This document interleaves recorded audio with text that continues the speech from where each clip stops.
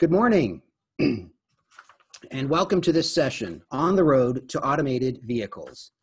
Um, and hello from the ION National Office in Manassas, Virginia, near Washington, D.C. Before we begin, I would like to explain some of the features of the webinar software. Um, at our in-person conferences, we all enjoy discussions in the hallway and being able to visit with colleagues and friends from around the world um, and we have some features in the software that will allow us to enjoy some of those abilities today.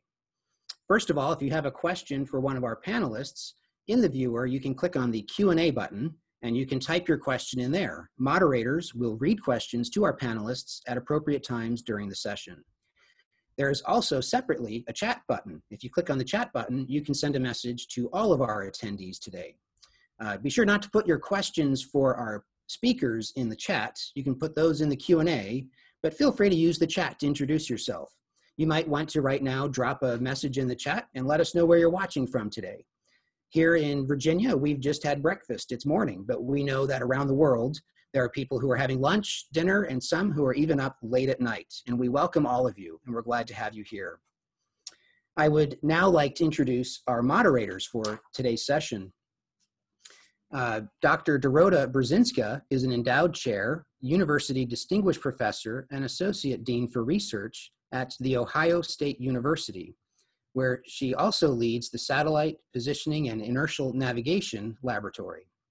She is an IAG, RIN, and ION Fellow, a member of the National Academy of Engineering, and currently serves on the National PNT Advisory Board. Dr. Tyler Reid is a co-founder and CTO of Xona Space Systems, a startup focused on GNSS augmentation from low Earth orbit. Previously, Tyler worked as a research engineer with the Controls and Automated Systems team at Ford Motor Company, working in localization and mapping for self-driving cars.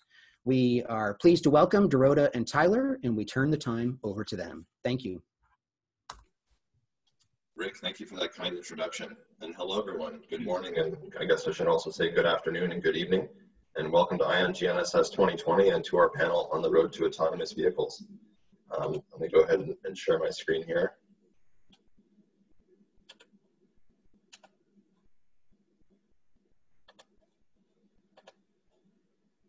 Unfortunately, Rick, it says host disabled participant screen sharing. Should I be seeing that? there you go. Try it now, Tyler. Ah. Thank you so much. All right, I hope that's coming through for everyone. Does that look all right? All right, very good. Well, I thought I would kick things off um, with a throwback to last year. So going back to 2019, you know, one, just, you know, nice memories of getting together in person, uh, but also because this was a really fun sign to see in Miami, which this is a real sign. It's, you know, no parking, autonomous vehicles only. Um, and the reason why this was relevant to me was, you know, at the time I was working at Ford Motor Company, uh, which is closely affiliated with Argo AI, where, where one of our panelists is coming from today. And, and the reason why that's relevant is that Miami is one of the cities that was selected for their on the road testing campaigns for, for automated driving. And so what's really fun about this is I think it shows a few things. One is it shows you know how real this, these, these uh, vehicles are, are becoming and, and how they're actually starting to shape our cities. And so to, to continue our welcome here, we go. Um, just to give some idea of, of logistics of, of how, th how things will go this morning. Uh, we'll start with a, a, brief introduction from, from myself and, and Dorota. Um, then we are pleased to have our distinguished panelists with us this morning. And, and um, as you might notice, we have three panelists. Uh, compared to other years, this may seem like less than usual, but uh, this, you know, the, of course, this is partly due to uncertainty associated with COVID-19. Uh, but we are very thankful uh, for our panelists for joining us today, and we very much look forward to the discussion.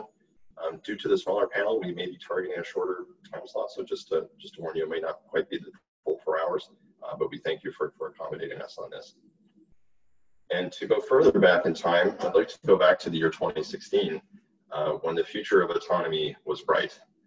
And really every news article that was coming out at the time said something along the lines of self-driving cars will be here in five years. And there's huge investment coming from not just you know technology companies, but also the major auto industry. So places like Ford Motor Company, uh, Bosch, Daimler, Uber, Volvo. And all of these had the same prediction, which is that in five years, 2021, we will have self-driving. And not only will it exist, but it will be commonplace, you know, to the extent where some made the comments of, you know, majority of rides, you know, from things like ride sharing will be made by self-driving cars in 2021. Fast forwarding to now, you know, nearly, you know, nearly those five years later, just shy of, you know, 2021 now, we're on, on the eve of that year. And the news articles are somewhat different. And it's not to say that it's completely grim, uh, but I think the reality of the challenge of self-driving has started to set in, and you can start to see some of the experts coming forth and saying that, well, you know, that five-year deadline that, that we set for ourselves, uh, well, perhaps we're 10 years away from that, and we're already five years behind. And so, you know, what, what has caused this? I think that, there's a lot of things going on out there in the industry that have, I think, just shown the reality of the difficulty of the challenge. Um, but I think that this just says that perhaps self-driving cars are not quite as close as, as we thought they were five years ago. To give an idea of some of the technology challenges here, I thought I'd take some time to go through, you know, what is, what are the pieces that make up a self-driving car? And of course, there are, are many different ways to do this.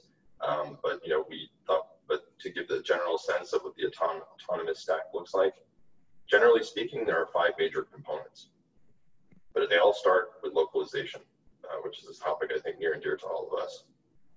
And so it starts with where am I in the world? And the reason this is important is that that's context to your location. You know, where am I with respect to a map? You know, what's around me? What are the rules of the road? What are the things that I should be concerned about? Then perception. What's around me? Where are the other players in the scene that I should be aware of, whether they be vehicles, whether they be pedestrians? Next up is prediction where are all those objects going? And of course, they have to follow the rules of the road. Uh, but to some extent, it is a more complicated problem than that because humans are not always predictable. Following that, we have planning. So that is, you know, in this chaos of the scene and all that's going on, this is, you know, where should I go? And then finally, you know, execute control to, to actually get to where you're trying to get to. But at the root of this problem, you know, really is localization. And often, at least in the systems that I've seen in my experience, localization, you know, being foundational really feeds into these other systems and errors tend to propagate downstream. And so because of that, localization often has some of the strictest requirements in these systems to make them to make them work and to make them safe. And to tie this to the real world and you know why you know localization is important, I'd like to just give this picture, and I think this starts to set you know why localization is so important. It really ties into the physical world, and it really brings it down to, you know, if you're trying to keep a vehicle within the lane and, you know, you know what does it take to, to, to maintain that?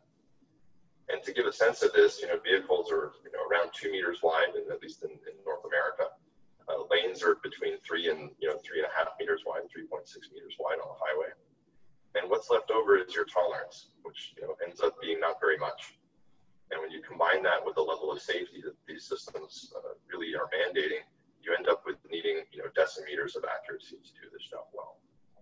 And this is needed not just for your vehicle to, to maintain it perhaps within its lane, uh, but also when you think of this in a more collaborative environment where vehicles are sharing information with each other and are trying to share this physical space together uh, and work in a collaborative environment where you can start to gain more safety through this uh, you know, collaborative system working together this is really where this, in, this location information and its integrity becomes important.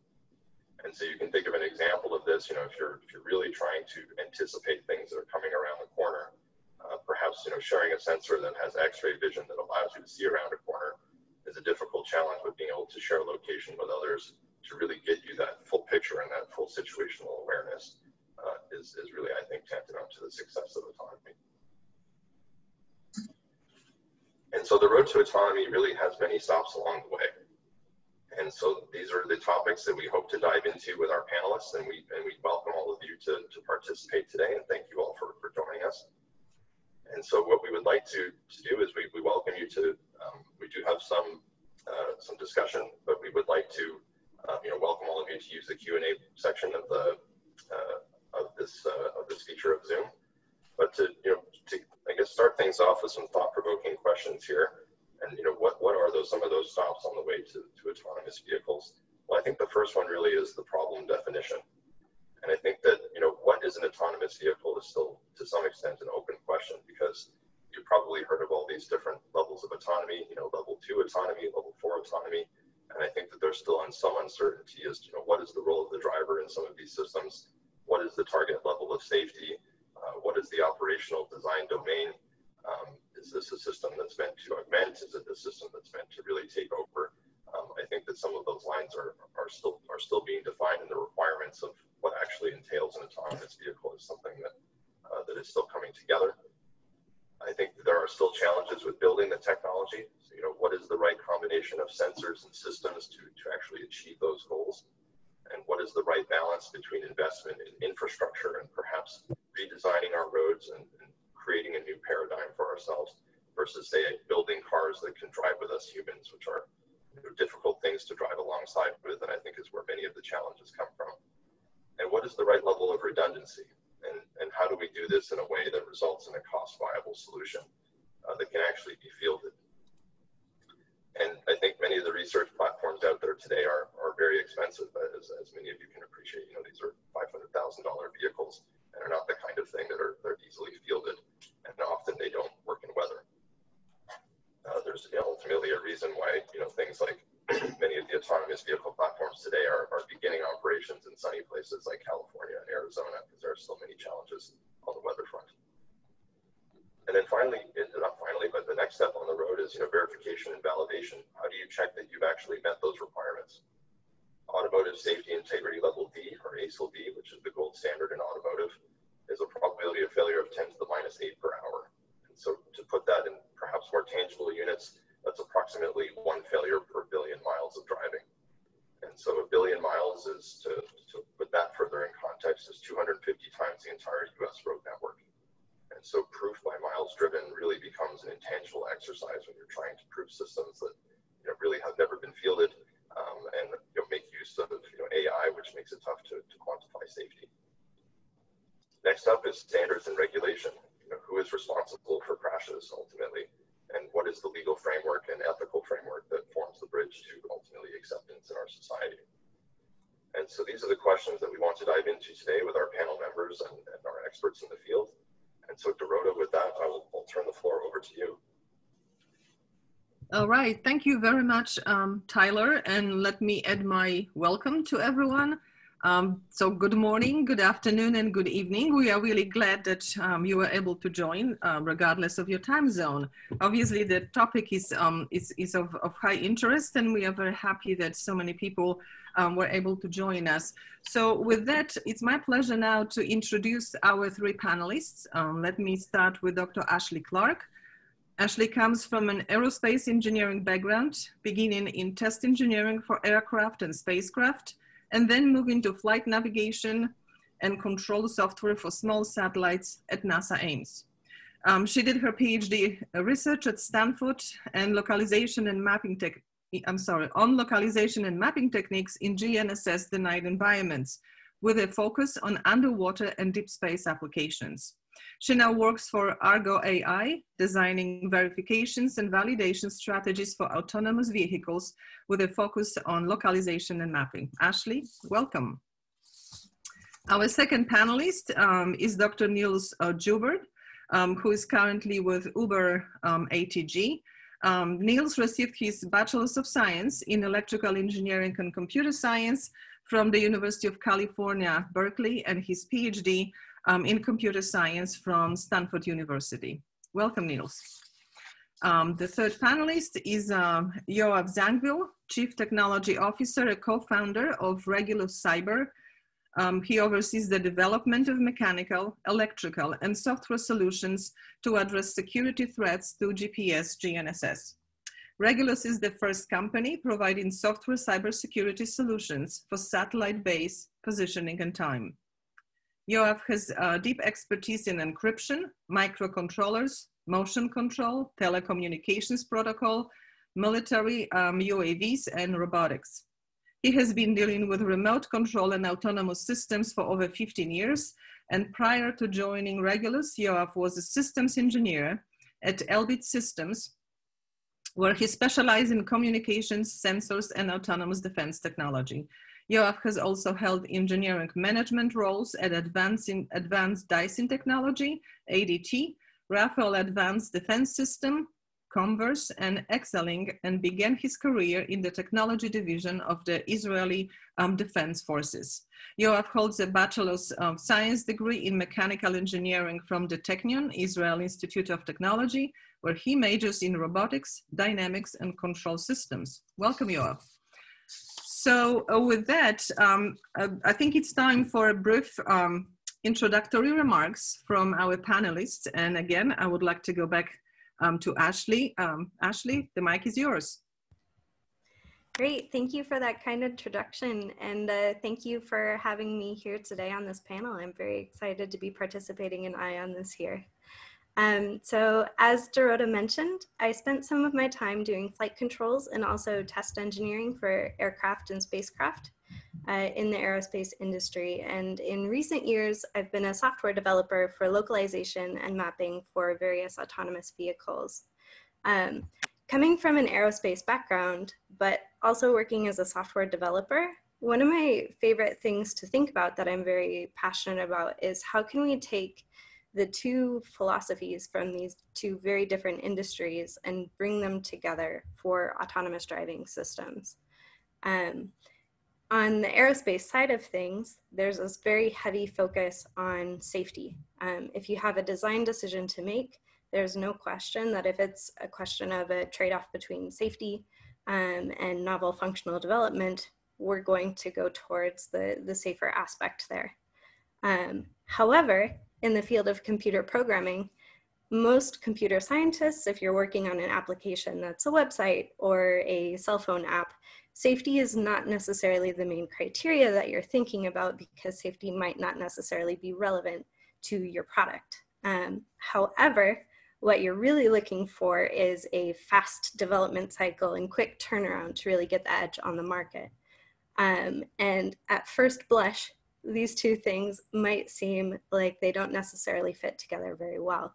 But for autonomous driving, this is a safety critical system, but it's also heavily dependent on software development. Um, so how can we really take these two uh, mentalities and merge them together into one successful, safe system? Uh, and one of the ways I like to look at this is uh, in software development, we have agile development methodologies where we try and build a baseline system and then add incremental performance improvements on top of that. And actually, if you think about it, in the aerospace industry, we take a similar approach with these incremental developments. However, we're working on a 10 year sprint cycle rather than a 10 day sprint cycle. Um, so that's one of the things I, I, like to think about in my role here at Argo AI, um, doing verification and validation methods for autonomous systems how can we take this agile development mentality and merge it with some of the testing strategies and approaches that are more common in the aerospace industry. Uh, so I'm kind of a translator in the technological sense in between our systems engineering teams and our software development teams. Also, uh, one of the cool opportunities that we have here at Argo is that I also get a chance to act as a translator between different cultures. Um, you may have heard that as recently as June, Argo AI acquired Autonomous Intelligent Driving, which was the Center for Autonomous Driving for the Volkswagen Group. Um, so therefore, Argo AI has now become one of the first like international self-driving systems. Uh, so not only do we have our fun technological challenges to account for, but we also get to look into what are the different design criteria that we need in order to account for American driving styles and German driving styles and really unify our approaches across these different cultural boundaries.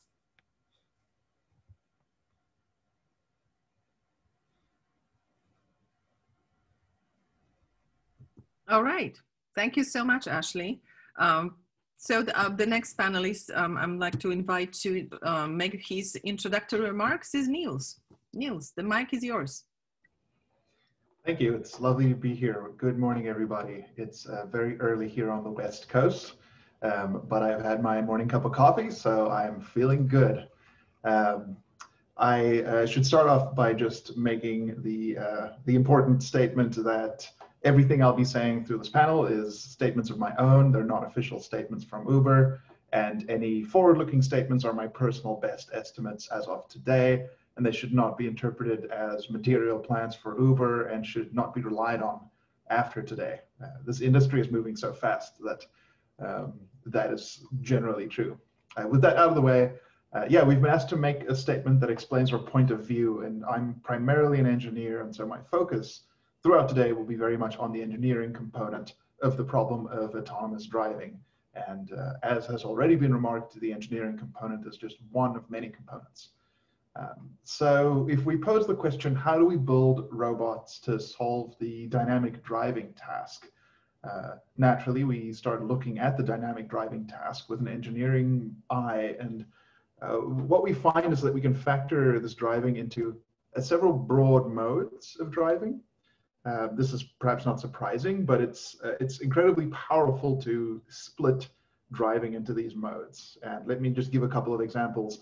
Uh, one type of driving is driving in very highly controlled environments where we encounter a very small set of actors and uh, the actor behavior is also from fairly small set of, of possible behaviors. Uh, this is pretty much what our controlled access highways look like. The rules are really quite strict for driving on a highway you stay around 65 miles an hour. You're not allowed to stop. Uh, there's a small set of cars, trucks, motorcycles. Um, there's no humans, for example. There's no uh, pedestrians crossing the road. Uh, what's also interesting about highways is that we've already built large publicly funded systems that ensures that the environment uh, stays conforming to these rules. So, for example, in California, uh, Caltrans does continual 24 7 work to try and clear road debris off the road. Uh, and they have a highway hotline that you call and say, I saw de debris on the road, and they will clear that. Um, similarly, the California Highway Patrol in California ensures that cars don't move too fast or they don't move too slow. They regulate blockages and they respond quite quickly.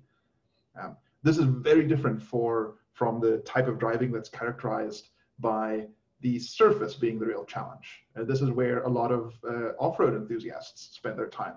Um, the the challenge of, of, of, avoiding other actors is, is basically missing from off-road driving. The real challenge is navigating very complex road surface. Uh, another challenge is uh, another type of driving, another mode of driving is where the challenge is really the vehicle dynamics. Um, Stanford's Dynamic Driving Lab has a fantastic video from a couple years ago that shows how they're drifting a uh, an electric car fully autonomously, and it's on a large open uh, parking lot with no other actors. And the breakthrough is showing how you can control the vehicle even in this uh, sliding mode. And then, of course, another type of driving is when we drive in very unstructured environments where we encounter a huge range of different actor behaviors and different actor types.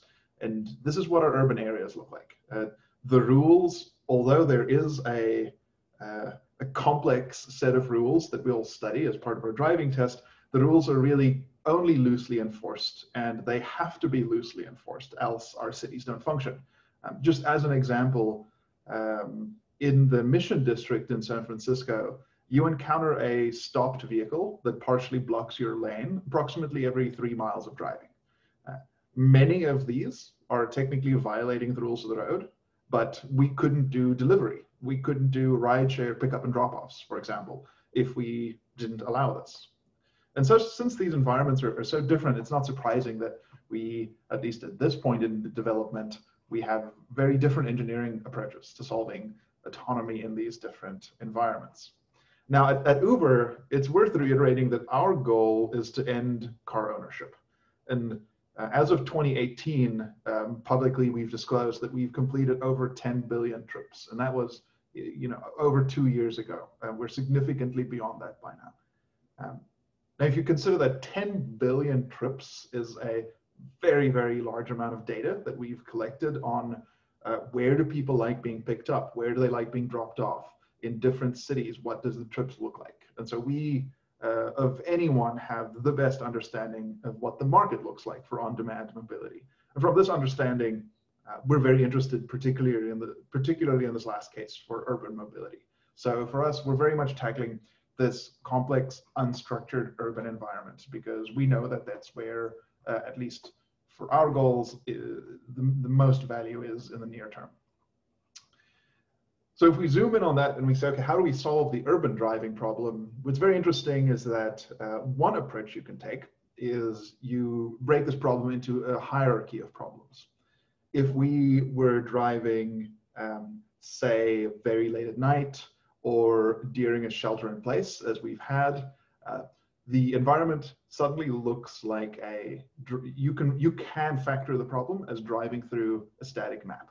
If I understand the environment beforehand and there are no dynamic actors, suddenly the problem doesn't actually look that hard. It looks very similar to the kind of autonomy we've deployed in mining and agri agriculture to great success, where you say uh, there's an autonomous harvester that's busy plowing this field, no other actors are present, and so suddenly it becomes lane following in a known environment. And if you make this, uh, if you factor the problem this way, if you make, uh, if you if you buy into this hierarchy, then a core challenge of autonomy is dealing with all of the changes to the static world. Uh, what's all the dynamic actors up to? What is all unexpected blockages that you encounter? And we really like this split because this lets us put all of our engineering effort into the unexpected. Um, other approaches factor this problem quite differently, where actually you put a lot more effort on just in real time, in dynamically understanding the static environment, where if you were to drive the same route uh, for a year, you would be doing similar computation work to understand the static environment over and over and over again, versus we like to factor that out. Now to do that, we absolutely see localization and mapping as foundational to our efforts. Uh, because we separate the problem into the problem of driving through a fixed environment and then dealing with all of the dynamic changes to that environment, to solve that fixed environment problem, we absolutely rely on localization and mapping. And because we can factor that out, uh, we see that as, as a smart engineering approach. And because that is so foundational to us, it's I'm very excited here to talk to the GNSS community since we see the work that's happening here as foundational to enabling us. So um, I'm looking forward to the panel. We've got great questions and uh, I'm very excited to see the very large number. We're up to 100 and over 150 participants. So we're excited also to take your questions from the audience. Thank you very much. All right, fantastic. Thank you very much, Niels. Um, Yoav.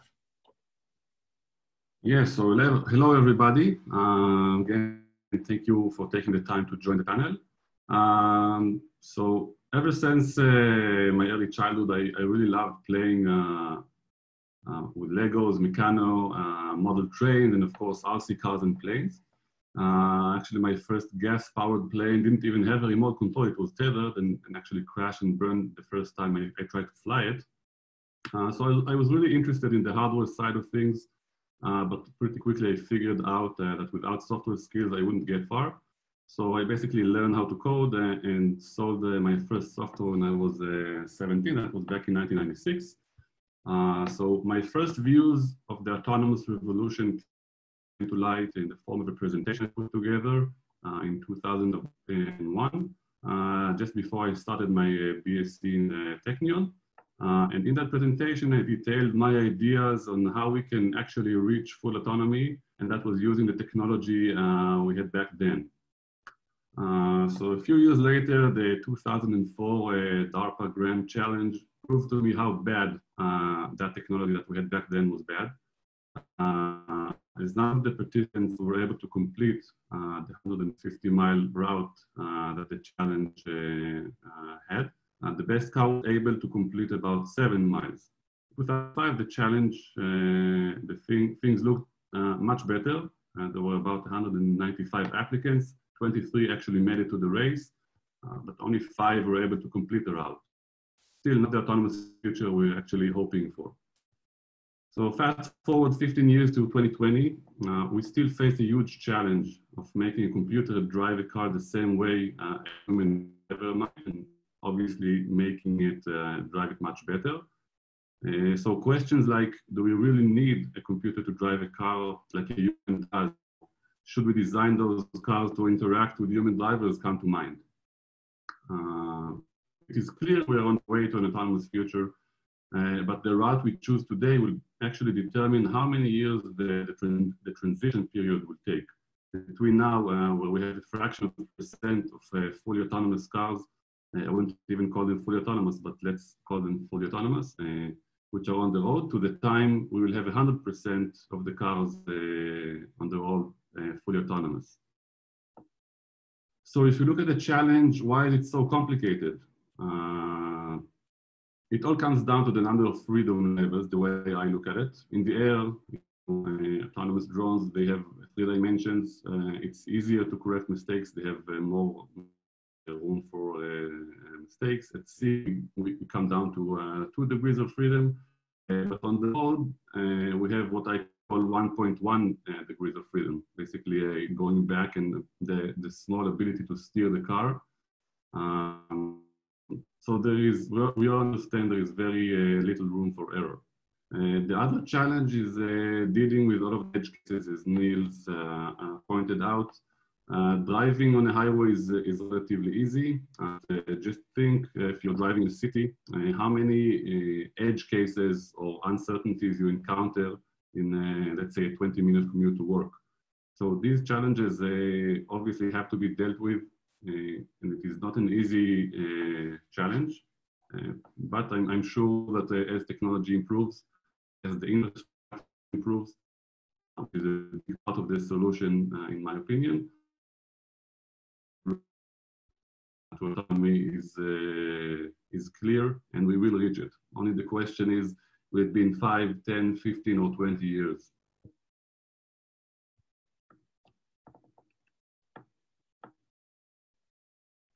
All right. Thank you so much um, to all panelists. I think we are ready right now to open the floor for questions. And again, let me remind all the participants, there is a QA box at the bottom of your, of your screen. Please post those questions there. And Tyler and I will take the liberty to choose which question will be asked. So since I have a mic now, I take the liberty to ask the first question. So um, Ashley, um, this question is, is for you. If you could comment a little bit on what are the remaining challenges that hold back self-driving vehicles um, from the mass market? Sure. Um, so ultimately, the challenges that we, we face here are very multidimensional. Um, there, there's obviously some technical hurdles we need to get over. Um, we need societal acceptance, and ultimately, we also need to define a set of regulations with local and federal governments uh, to make sure that we're operating safely. And we define exactly what safely means.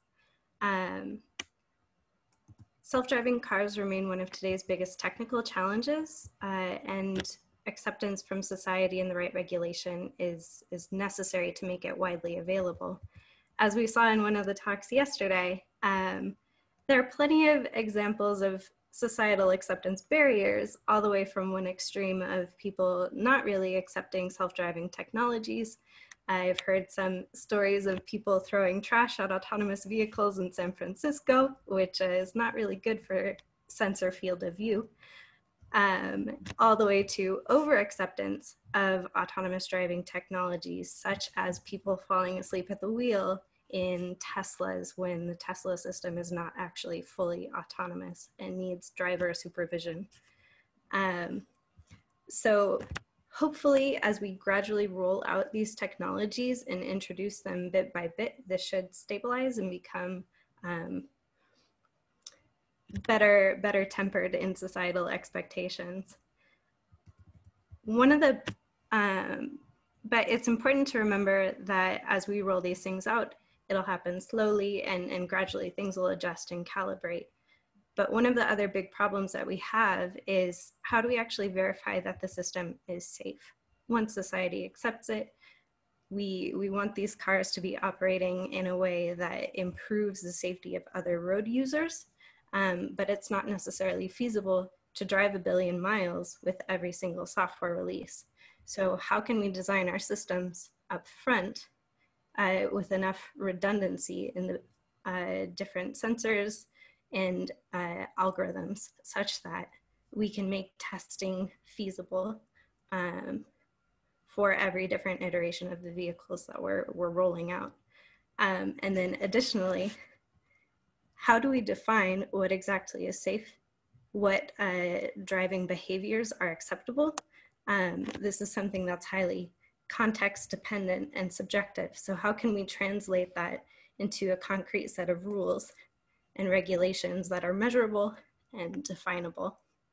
Um, so one of the approaches that we're taking at Argo is uh, we're doing a street by street, block by block rollout, uh, meaning that we design, uh, decide on a specific subset of the ODD, a subset of a city that we want to tackle, really knock out, um, verifying the functionality in, in those um, small areas and test it and gradually expand so that for every incremental step of development, we can actually take the time to make sure that it's validated appropriately and successfully.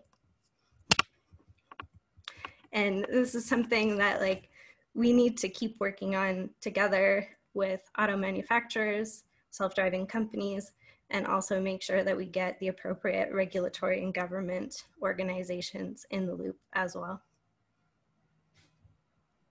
All right, well, thank you, Ashley. Um, Yoav, Niels, um, do you have anything to add, particularly um, in what's in your opinion are those primary bottlenecks? Are they technical, societal, or regulatory?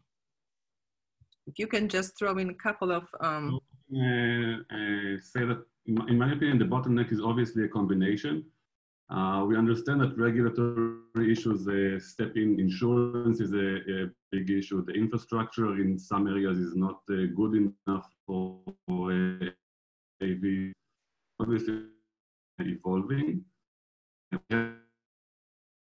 Uh, it's also very important. Uh, and the, the whole issue of cybersecurity, which is what Regulus Cyber is dealing with. I think we all agree the job we have now is, is much harder uh, than uh, it will be once 100% of the cars on the road will be autonomous. Right now we have to uh, deal with the, the, poor infrastructure we have. We have humans and drivers with the AVs, uh, which make the development of uh, AI or algorithms that control the cars much more complicated. Uh, and imagine um, in 5, 10, 15 years from now when we will have uh, fully autonomous cars, 100% uh, of them. Obviously, uh, we'll have much less of these interactions, if any. The infrastructure will be better built, so the, the AVs will not have to be so complicated as they are today. So someone needs to step up decide, uh, do we improve today the infrastructure? Uh, do we limit the interaction between uh, AVs and human drivers? If so, how do we do it? I don't have a clear answer. It's volunteer uh, as the stakes are very high and the cost of a mistake is even higher. Uh, so it's a very good question and I guess time will tell. Uh, I have a comment. Um, you are breaking every so often. I wonder if this is the bandwidth on your site. Perhaps you may try to either post your picture or just don't do video and see now if we can get a better voice. Okay, stop the video. Do you hear me better now? Yes, I think it's better now. Thank you. Okay, so I will turn off the video for now. All right, Niels, would you like to add some comments to the question? Yeah, absolutely. And um, uh, I think this is probably the core question that many people have. Um, I do believe the bottlenecks are primarily technical. Uh, nobody is being held back with a self-driving car ready to go and saying, oh, if only people were to accept it, or if only we could get regulatory approval. And we definitely move slower because we want to be very sensitive to regulatory approval, to safety considerations, regardless of regulatory approval, and to how this will integrate into society. Um, every feature that we develop at Uber goes through a, an external uh, safety review board um, that takes uh, significant time to do a lot of due diligence, and we're very much committed to that. Um, if you look at uh, our self-driving car website, we are um, we have a significant safety plan that's that we've been very public about, and, and yes, this does take time, but I wouldn't say this is primarily like the bottleneck that needs to be overcome. I think it, it really is at its core very much still a technical challenge. And to dig into that a little bit, it's very much a technical challenge of scaling up. Uh, we, have had technological demonstrators for years now, and, and, as an industry, we've done that. And uh, if when people ask, you know, when can I get into a self-driving car? Um, the old uh, tried adage of the, the future is already here, it's just not equally distributed is very much true. Um, there is very there there are a few places in the world that you can go to and already get a fully autonomous self-driving car uh, mm. self-driving trip. Mm. Um, but the real technical challenges are in scaling up. And so just to give you a couple of examples, um, we often discover diminishing returns on some of the details. For example, uh, data labeling and data data collection and data labeling is, is very challenging. And finding all the edge cases is really hard.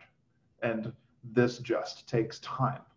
And um, often you discover that the labeling approach that you took have some problems with it. Uh, for example, an interesting switch that's happened in data labeling has been moving from uh, labeling on purely individual images to labeling on uh, short video clips. And labeling individual images is the approach that everybody took because that's the, the academically pioneered approach that's been very successful in computer vision. It turns out that you then have many images that are very difficult to even tell what you're looking at. Once you switch to video, you have to rebuild the entire labeling pipeline, but this gives you much, much better labels. And these kind of discoveries that we keep making on like where do we hit diminishing returns in some specific aspect, it, it takes time to figure that out. Um, another technical challenge is, is defining the requirements. So uh, before working on, on autonomous driving, I spent more time in the ADAS world. And in automotive, we're very comfortable to very carefully write down the requirements and then verify that we meet those requirements. Um, the rules of the road are intractable and they're often contradictory. Uh, it turns out that even trying to write better rules of the road seems a little bit like a dead end. And how do you resolve this problem of you can't quite write the requirements as strict as we would like to from an engineering perspective, uh, but we still need to have very clear requirements against which we can verify our vehicle. And some people really lean towards a much more end-to-end learned approach here. But this is very, very, very complicated then from a safety perspective.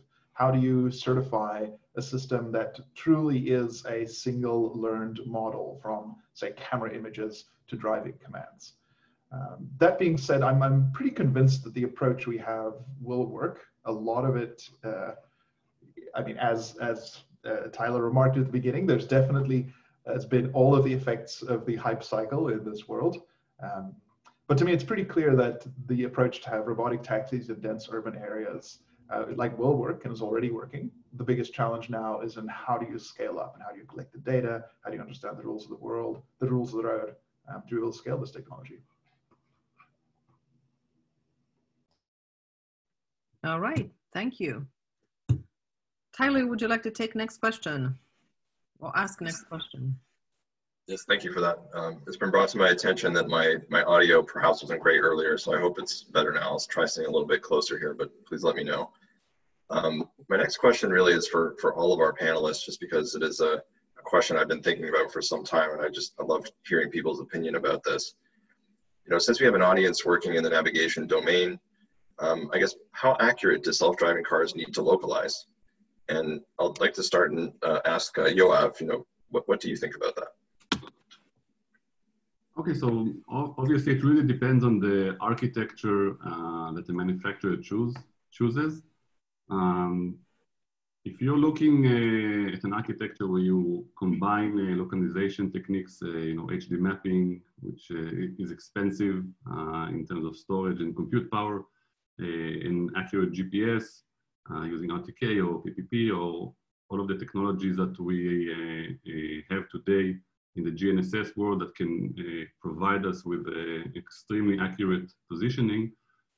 it might not always solve the problem that we're trying to solve because we always run into the edge cases of tunnels, parking garages, and uh, looking at uh, autonomy, uh, level five or 100% autonomous uh, using only GPS will not solve this problem. So we, we all understand it has to be a combination. Uh, so if we don't trust or uh, require the GNSS to provide us with centimeter level accuracy uh, to keep us within the lane because either with a, a LiDAR or, or, a camera, um, we can use the GNSS uh, for a, a, rough localization. Uh, five meter accuracy will be enough, uh, which will allow us to navigate, to plot a route to our destination, uh, use the directions that they, you know, uh, anticipate the oncoming turns. Um, we don't need the extremely accurate uh, GNSS positioning. Obviously, we do need extremely high localization techniques to put us in the center of the lane, to avoid obstacles, uh, to allow us to enter and exit uh, the highway or uh, make turns accurately and not drive on the sidewalk, not hit anything driving to parking garages. Uh, uh, obviously, the lighting conditions, weather conditions uh, affect all of these kind of technologies.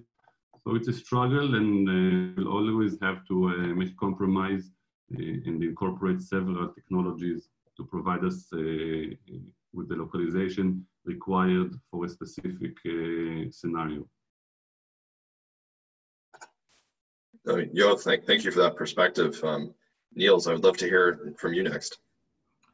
Yes, thank you. Um, yeah, this is a great question.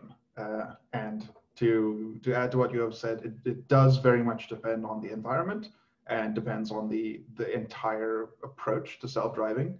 Um, for us, we think about, and since we're very much interested in fully autonomous urban navigation, uh, we need to be able to localize to the accuracy of road markings at least. And to give you two examples of why this is, uh, to, to, kind of motivate why this is the accuracy we localize to, um, uh, one is purely a safety consideration.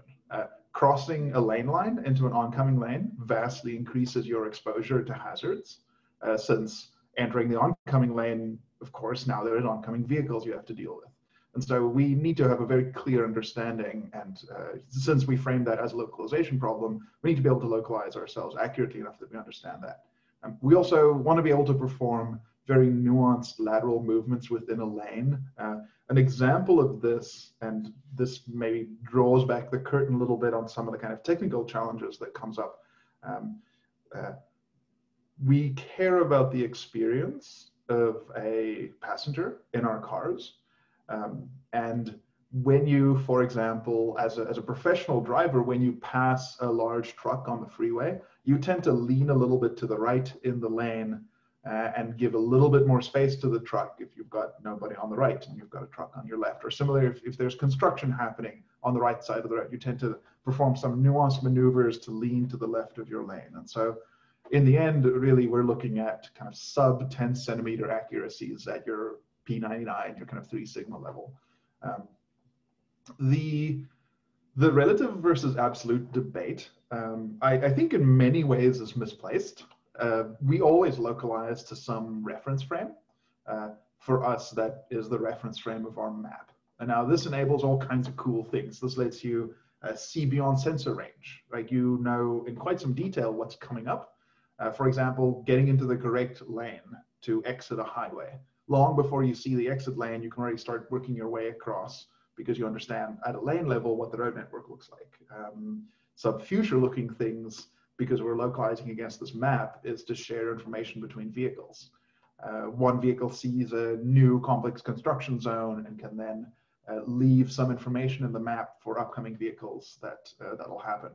Um, now this sounds like a relative reference frame because I'm saying it's relative to some map, uh, but as these technologies scale, our maps will scale and quickly you get to the point where if you want to map large swaths of the world, the only logical reference frame for a map is then the absolute reference frames that the GPS community is very familiar with, such as the ITRF 2014 reference frame.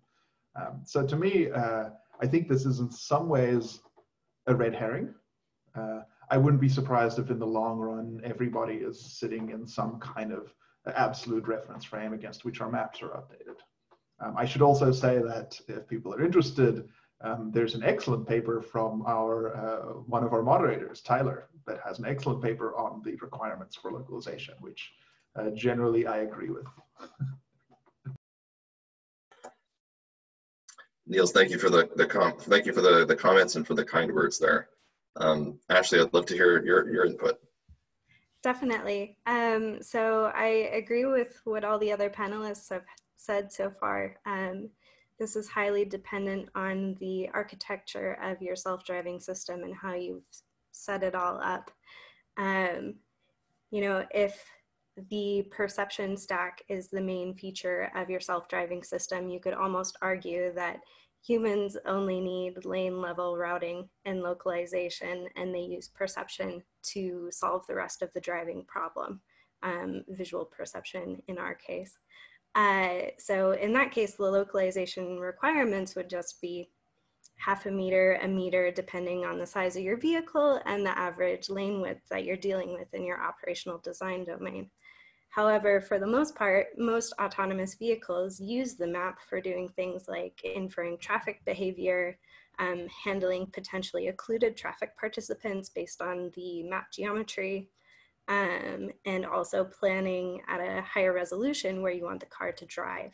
Um, so in that case, we have very tight and stringent localization requirements that are on the level of 10 to 20 centimeters. Um, I also think that it's very important to talk about the velocity, acceleration, and orientation accuracy requirements when defining these requirements for localization.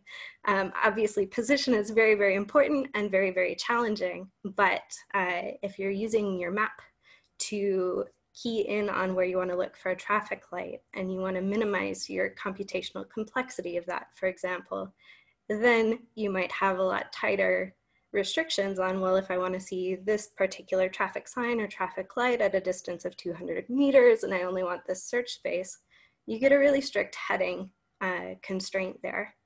And then also there's this really interesting interplay in between the localization system and the motion planning system.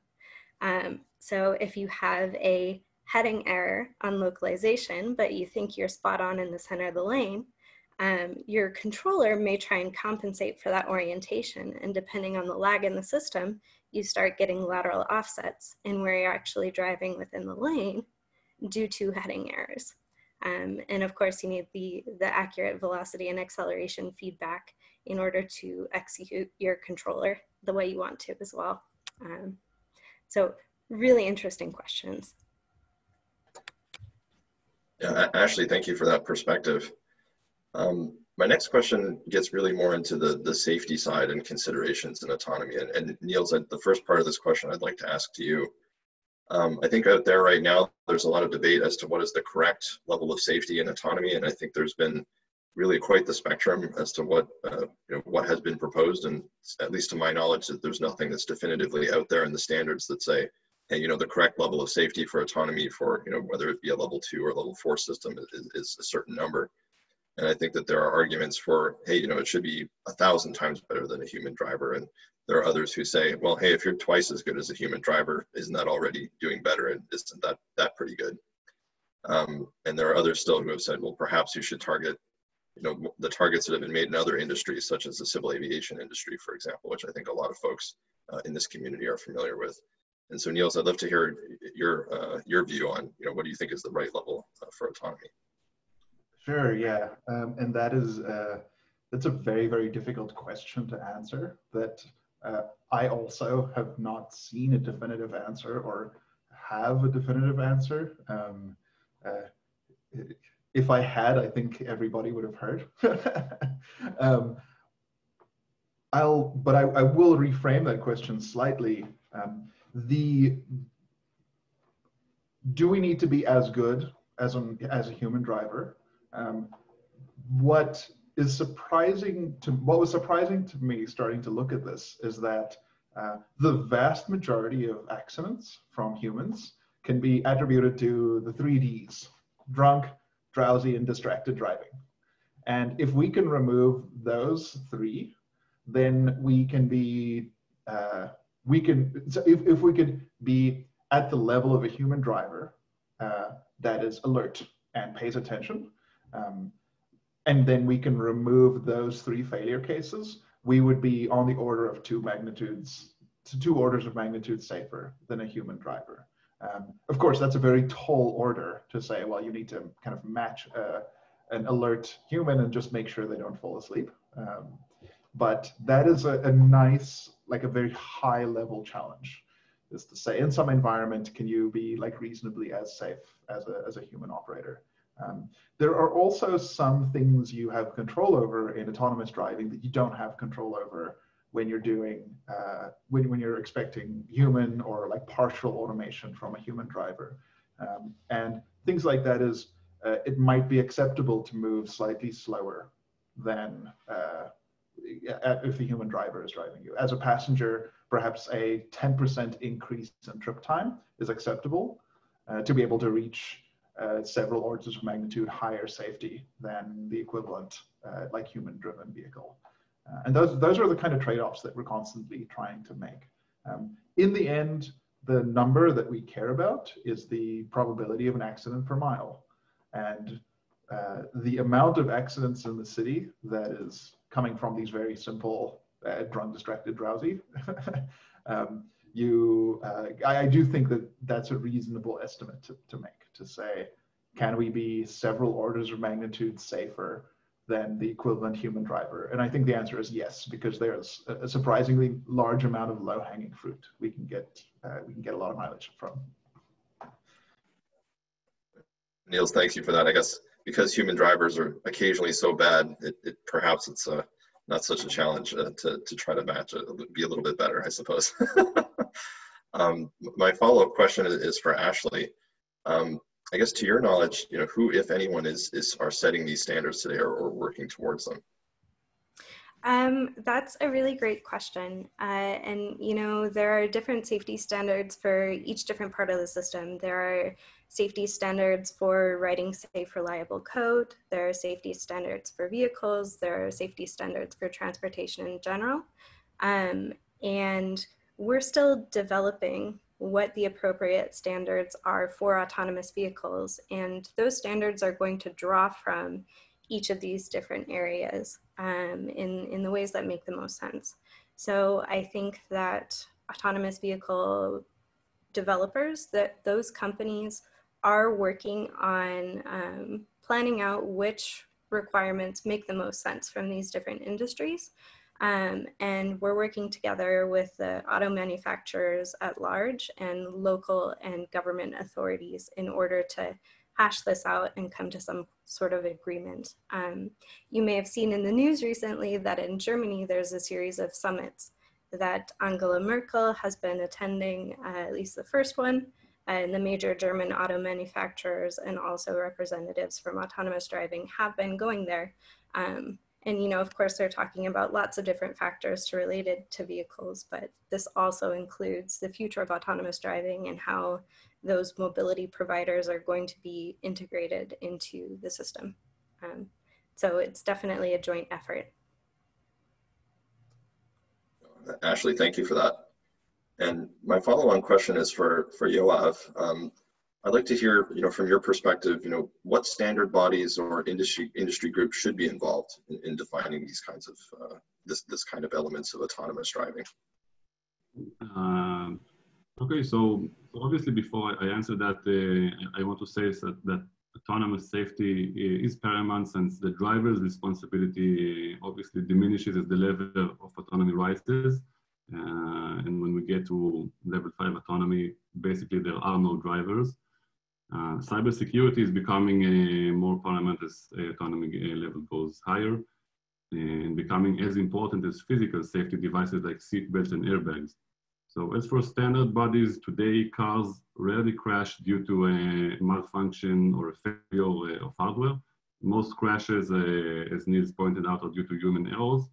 So the same bodies that regulate automotive components should basically keep doing that and keep doing what they're doing uh, but they do need to adapt and add to the list of, of regulated components, components like uh, LiDARs, radars, cameras, uh, communication modules, and computing systems.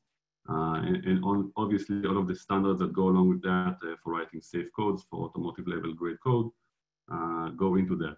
Obviously the DMV, which currently oversees and regulates autonomous vehicle testing and development, will have to take more responsibility uh, along with regulatory bodies like uh, the National Highway Traffic Safety Administration and NHTSA. Uh, they and others need to transition and adapt for autonomous regulation, which is extremely different, uh, mainly due to the high responsibility placed on the OEMs. Uh, and, and they're saying basically, there is no driver, so you take all the blame. So it's really hard to uh, pinpoint who will be uh, the regulatory body that uh, will take all of the responsibility. It will be a combination of several bodies. No, excellent. Thank you for that. Um, and then with that, uh, Dorota, I will turn the floor back to you. All right, thank you. So the Q&A box is getting full. So uh, let me let me actually combine two questions together. They are um, touching upon very similar points. So let me start um, from from uh, number one. The type of autonomous navigation that I would personally very much appreciate, says one of our um, attendees, is that I navigate the car manually from the start point in the city to the next interstate. There is an autonomy, autonomously driving me for a couple of hours towards my destination while I can relax, and then I navigate from the exit through the city to my final destination. Isn't this much easier to implement than going autonomous all the way, and couldn't it be rolled out much earlier? And in other um, another participant um, is saying Niels spoke about breaking up autonomous driving into modes like highway driving and congested cities. I like this approach. Do you see the rollout of autonomous driving capabilities happening in stages? Under this approach, in early years, the car would allow the driver to do autonomous driving on a highway, but would not permit this in a city over time, other modes would open up. What are your thoughts on this? And I think this is the question to, to all three of you. Who's going first? Um, I can start. Uh, I also was looking at these questions and I thought they were they were great. Um, yeah, those are those are two interesting questions that comes up a lot, and I actually want to make a very as clear as possible statement here because we think about this a lot. Um, 98% of the lifetime of the average car is spent sitting in a parking lot. Uh, we see this as incredibly inefficient. And so the idea of uh, having your, like, I, I completely agree with the sentiment in this. It is easier to do highway driving. It's a great value add. Uh, I think we already see this in many of the highway autopilots today that like yes it's spectacular to be able to get in uh, today's modern teslas and and uh, many of the other cars that have autopilots but from our perspective at uber this doesn't solve the global problem that we're trying to take on which is to say we are producing two orders of magnitude more cars than we need and it's more paramount than ever to not do that and to get uh, like a two two orders of magnitude reduction in the amount of cars that's necessary to to run our society. And so to do that, we need fully autonomous vehicles. Like that doesn't work if it's just you own a car as always and it's slightly better. Um, that works if you can say you don't need to own cars anymore. Uh, I think that uh, at least for me in California, and for many of us in California, the, the wildfires this season and the last few seasons are extremely concerning. And so the, the climate implications of being able to just massively reduce the amount of cars needed is critical. Um, and so we, we have a, a, North Star here that's very important to us. We agree that that's, that's a great product. We're just not in the business of doing that. We don't think that that's really where the core, the core societal benefit will come from. And so, so how do you solve this? Uh, it's true that it's easier to do this. And um, if you look at a product that Uber has recently launched, you'll see a little bit of an insight in how we're thinking about this. And that product is uh, we now have multimodal trips uh, in our app. And what that means is you can say, I want to I want to go from here to um, a good example I like to use. I want to go from uh, San Francisco to Oakland, which is crossing the the bay, and uh, through a single ride, a single ride experience, uh, you will take both a human driven Uber to your local uh, transportation hub and then take a light rail that moves you to a transportation hub on the other side of the bay and then have an Uber waiting for you when you get out. And so you can imagine a similar rollout approach that um, we will see autonomous driving, uh, perhaps not fully solving the autonomous driving problem from the get-go, but we can very rapidly move towards this world of beyond private car ownership through a model uh, where we have multimodal trips. I think um, uh, you have here that although it is simpler and we all agree that uh, driving, navigating highway is much simpler than navigating the city streets, uh, still we see Tesla crashes, uh, we see uh, Tesla drivers fall asleep uh, and for pure luck, they actually wake up and not cause an accident. There are still many uncertainties, especially if the highway is a little more con congested.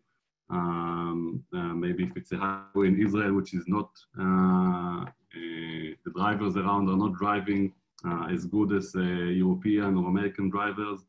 Uh, so it really depends on many other factors. And I still don't think that I would feel comfortable falling asleep or even, even relaxing in such an autonomous mode with the technology we have today. and it has also been proven that when something happens and even if you're not asleep, uh, just not uh, focused on driving, you know, uh, listening to music, and suddenly the car uh, gives you the control back, you might cause more damage uh, because you're not really uh, fully aware of the situation. Um, so it is a problem, and I don't think rolling out this feature alone will will bring us closer to the autonomous future we, we're seeking.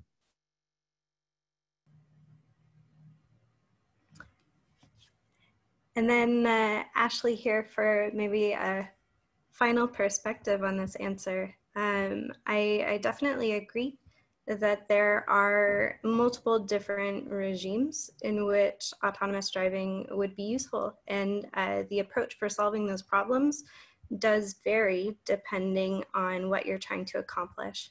Um, and in the Volkswagen group, we've actually broken up this problem into multiple different like specialized companies. So for the highway problem, there are projects in Audi doing the uh, highway pilot. Um, there are other groups that are focusing on how do you autonomously parallel park a vehicle. Um, as part of MAN, they're focusing on how do you do goods shipment with large vehicles. Um, so it's easy to focus on the mobility on demand aspect of autonomous driving because that's what we see most often in our day-to-day -day lives, but there's also uh, last mile goods delivery. There is highway transport for large vehicles. Uh, there's, there's highway pilots for small uh, personal vehicles. And I think that if we focus on each problem individually, that can help things progress quickly and we can do gradual rollouts and then ultimately try and tie everything together. Um, but you know, there's also a lot of value added for long distance transport in public transportation means such as trains um, or mass public transport especially in Europe, that's more integrated into city infrastructure and whatnot. But there are some places where, you know, you take the, the metro or subway system and it doesn't go all the way out to where you want to go. So we can use autonomous driving in urban environments to do that last mile of people as well as goods. So I think all of these problems are important. Um, and if we if we have different task force forces that uh, focus on the different aspects, then we can make progress quickly. Um, and that's what we're trying to do.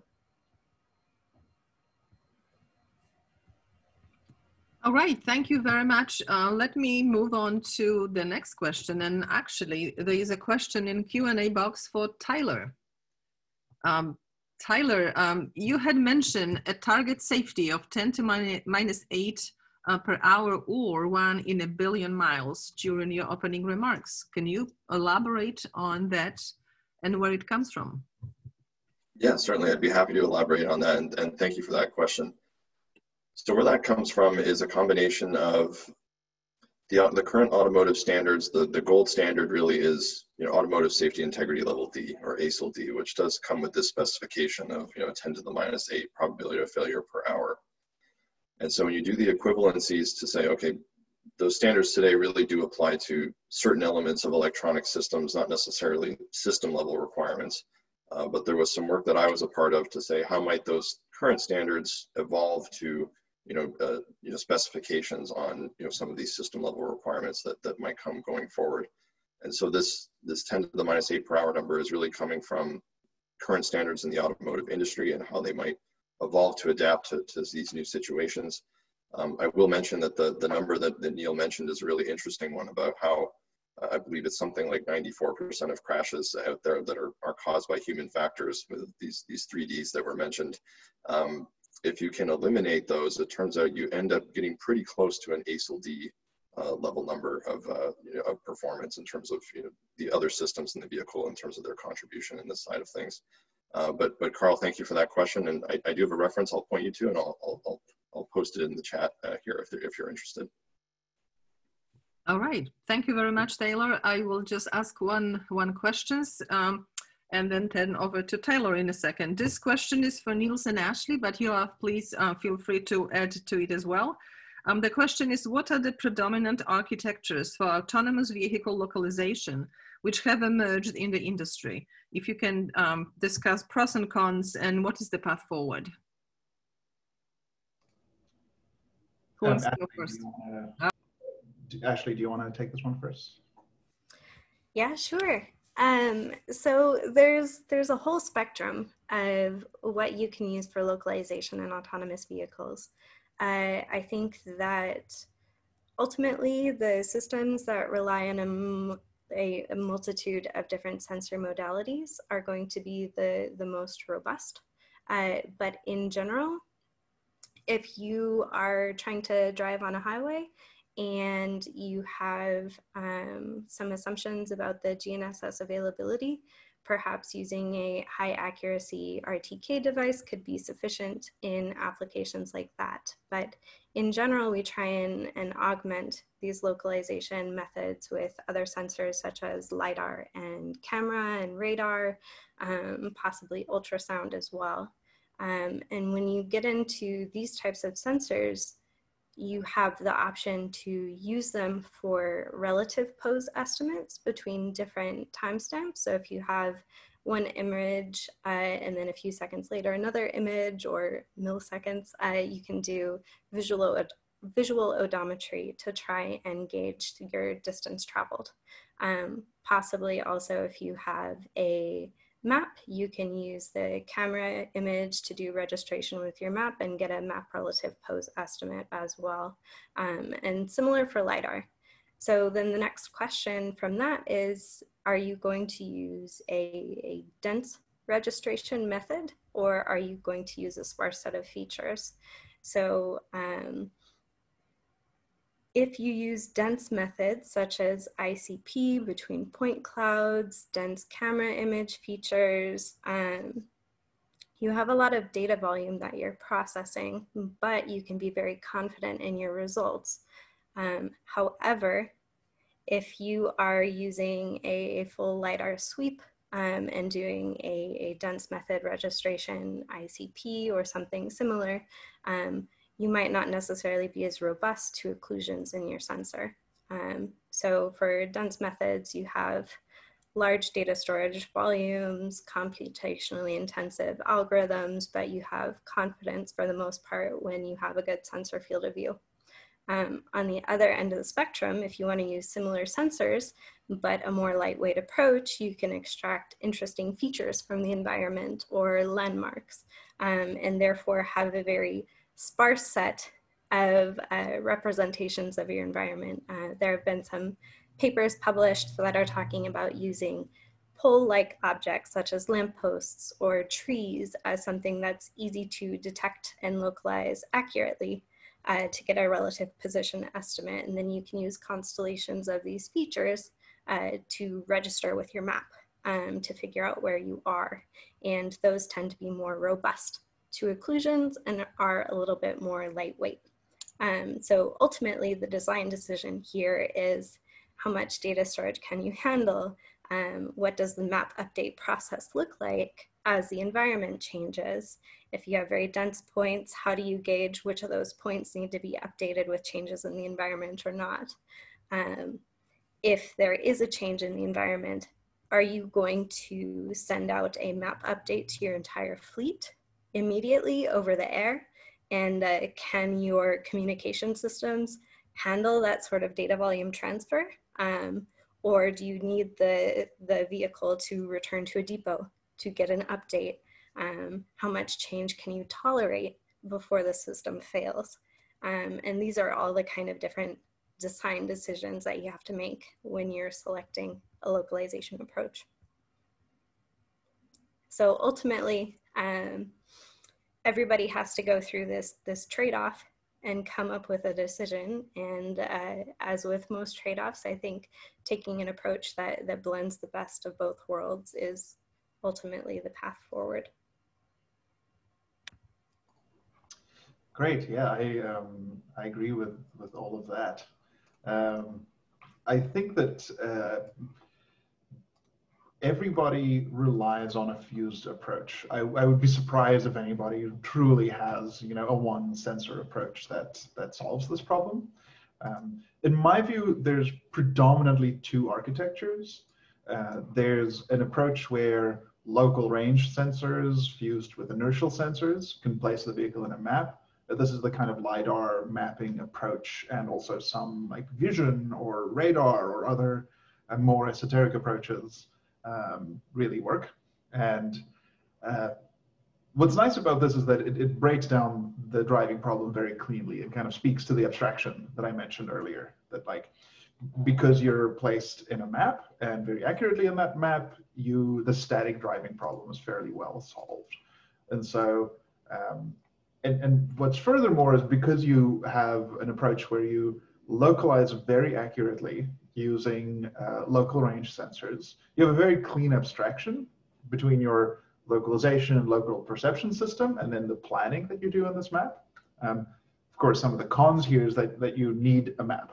And Ashley spoke to some of the challenges of having that. to You um, updating a map is uh, tricky and complex. The data volume is very large. Um, you also need, you know, local range sensors that work well. And LiDAR is still fairly expensive, although uh, big breakthroughs has been made there. Um, one, one kind of interesting approach here is you can use multiple disjoint sensors for accuracy. And so uh, I think GNSS can play a role in this as a, a way to increase your reliability. Um, we, we, I think generally the engineering approach of having redundant sensors and playing those off against each other is an approach we can take here to use GNSS as something, especially with, with very precision GNSS coming on board to monitor LiDAR systems. Um, the second predominant architecture is much more of a split approach, where you can use uh, local perception sensors like cameras to do very local positioning, for example, laterally positioning a vehicle in a lane, and then uh, having GNSS and lower precision, although still high precision G GNSS, uh, place you coarsely on a map. So you can do lane level planning and lane level maneuvers all based on GNSS on a lane level map, and then use vision to do your in lane planning. Um, this is the approach that's again more favored by highway autopilots. And what's really nice here is that you can you can plan a lot of your local maneuvers just very directly against your computer vision. Um, this is also an example of where something like uh, many highway autopilots can improve. Uh, currently, there's a lane level planning that happens, and then there's a lane centering algorithm that's running. And that, uh, that split often creates for some uncomfortable feelings. Um, I like the example of passing large trucks on the freeway or construction cones where uh, you actually want to do some in-lane planning separate from your lane level planning.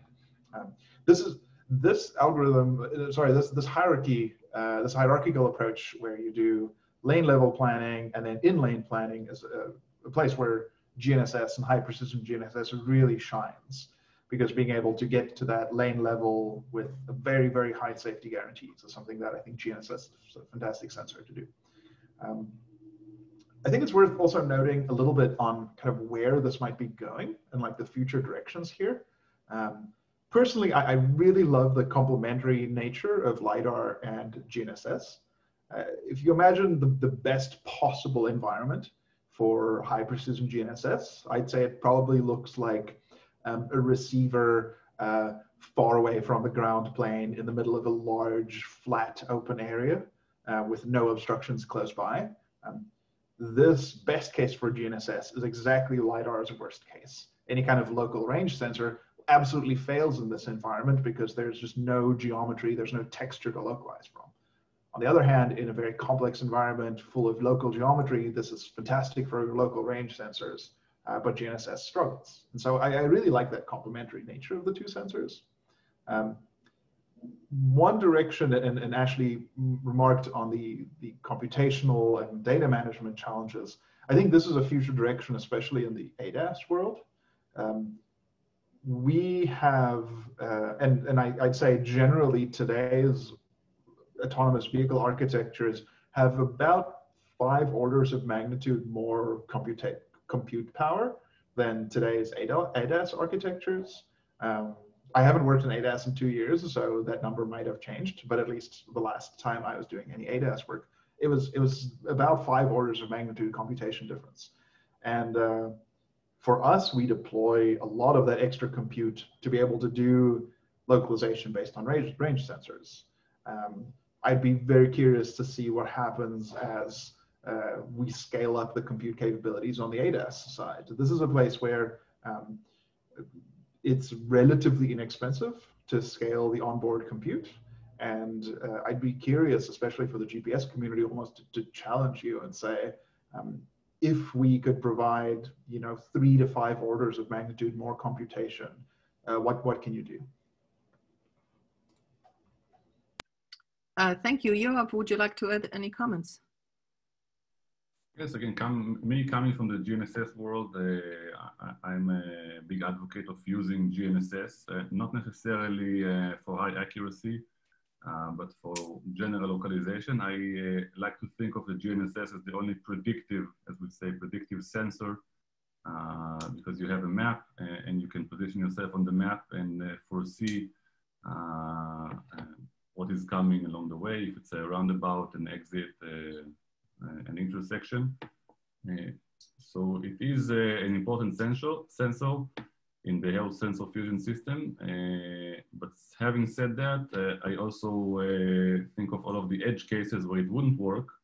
Um, again, tunnels, parking garages, and all of those areas that we do need to have alternative technology.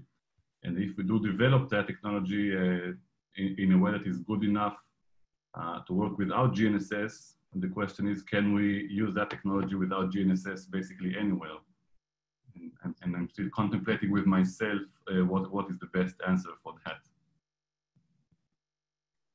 All right, thank you. Um, so I think it's fair to say we have heard quite a bit today from all three of you um, how important are the maps, GNSS and LiDAR and other sensors just to increase the redundancy to make sure that we have reliability of positioning. Um, so I'd like to follow with a little bit challenging question. Uh, some of the preeminent voices, read Elon Musk, in the self-driving car industry have publicly stated that HD maps, precision GNSS, and LiDAR are not part of the solution of the self-driving car problem. Can you comment, please? Ashley, you want to go first? Sure. Um, you know, I think that we have covered this a little bit so far. Um, ultimately, if you want a safe system, you need sensor redundancy. One sensor is not going to cut it by itself. Um, if you think about cameras, uh, you know, they they have a lot of benefits. Uh, they can pick up a lot of interesting detail in the environment. However, uh, they're very dependent on lighting conditions, weather conditions, um, and yeah, so I think ultimately you need sensors that are going to have complementary failure modes. Uh, so LiDAR is great. Uh, it provides range information. Maybe it has similar failure modes in terms of weather conditions. uh, to cameras, but it is not necessarily affected by glare from the setting sun or can't um, always be tricked in the same ways. Um, and as Neil said, GNSS is also a completely independent uh, failure mode. It struggles in different regions than cameras and uh, LiDAR systems. And, you know, also there's, there's radar, uh, which is weather independent for the most part. Maybe it's not as high resolution as some of these other sensors, but it's a great fallback mode um, to really detect when you're having issues. Um, and maybe one thing that we haven't necessarily stressed very much yet in this conversation is that sometimes it's okay if you can't handle every situation, but it's very, very important that you can identify when you've come to a situation that you don't know how to handle. So you can notify either the safety driver, remote operations, or take a, a maneuver to go to a safe, stable state somehow, whatever that looks like, depending on the situation. Um, yeah, and if you only have one sensor type, that's really, really challenging to identify. All right, thank you. Um, Neil, so Yoav, anything to add? Elon is coming. Any any advice to Elon Musk you can actually include, Yeah, please? Is, uh, basically uh, saying, okay, me as a human, I don't have a, a lidar in my mind, in my, my brain, uh, and not a GPS. I do have my eyes, and if I'm capable of using my eyes uh, to drive a car, why a computer wouldn't be able to do that? And I tend to agree with most of it. Uh, the challenge is to actually make um the camera uh, robust and reliable enough in all weather conditions, in all lighting conditions, uh, and obviously the algorithms, uh, all of the AI and the image recognition still need to improve, uh, but I think Elon uh, has done a pretty good job and has demonstrated that he can use uh, only these uh, two technologies, uh, using a camera for uh, navigating and, and maintaining the lane and radar for collision avoidance. they don't use GNSS for precision localization, but they do need the GNSS to plan the route and to know which is the exit should be taken. Uh, so uh, I tend to agree with his approach. Niels? Sure. Yeah. Um, yeah. And to uh, to add to what Yoav was saying, the uh, you know the argument goes something like, you know, humans do it with two eyes, so our cars should do it with two cameras. Um, I'd say generally in the last um, several centuries, we've been very successful in building a computation stack that's built on the electrical properties of silicon rather than organic chemistry. And generally, we've had quite different solutions. It's, it's been kind of like an interesting, surprising fact of the universe. Um, I would say, I think, I think the statement, uh, I think he made that statement like very early 2019, like about a year and a half ago. Um, I think that statement actually belies the speed of the work because uh, it's true that Elon has made that statement. They've also ramped up their use of precision GNSS and mapping since then. So I think there's contradictions even on their side there. Um, I also think we've seen a lot of unfortunate examples where a lack of maps caused a terrible failure modes. There's the, the famous Tesla accident on Highway 101, just about 40 miles south of here, where a perception system mistook the space between two lanes as a lane and uh, plowed a vehicle directly into a concrete barrier at speed, where a lane level map would trivially have solved this problem. Um, I think it's very difficult to predict long term like will is is the computation stack and is the approach that we will see 100 or 200 years from now um, something that just looks like cameras i think that there's a general feeling that if you push the timeline out long enough, then yeah, perhaps because we have this example of, of humans doing this with just their eyes. Um, in the more kind of near term, something that we actually have examples of what this works like, I think that I think that Elon is very good at making statements that are shocking to the world. And I think this is more of an example of that than something that's really rooted in, in reality. And if anything, I think they've contradicted it already. And um, and yeah, I, I fully expect maps and mapping and GNSS and accurate localization to play a critical part in this stack for uh, many decades. Well, thank you. So perhaps we should invite um, Elon to the next ION meeting when we continue with those panels. All right, um, Tyler, over to you. Yes, Dorota, thank you. Um, I'd like to start with a question from our from our audience, and I think this starts getting into the the ethics surrounding autonomy, and it's a question I think that comes up quite often. And so, uh, thank you, Christopher Baker, for this question. And the question is, and, and really I address this to all of our panelists, that is, you know, will the uptake of fully autonomous movement around urban environments be hindered by issues around the trolley problem, i.e. a situation where a vehicle will crash but has to decide what to crash into? And will software programmers be happy with taking responsibility for decisions which might end up killing innocent people? And I think that one of the one of the classic examples that's used there is if you know you have a, an elderly person crossing the road and a, you know someone with a baby carriage, who do you choose? And and or or is that even the right question to ask? And so yeah i'd love to hear from our from our panelists.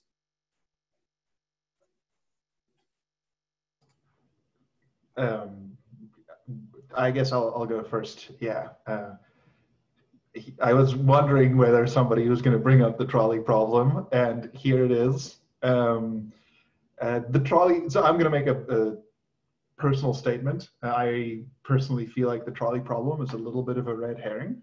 Um, the, the trolley problem depends on two important factors. It, it depends on having inadequate time to make a decision. Um, and, it, and, it, and it ends, and, and it depends on having like inadequate resources. Uh, now, that's not to say that no trolley problem ever comes up, but you can make significant progress and bound the probability of something like a trolley problem coming up by eroding these two fundamental assumptions.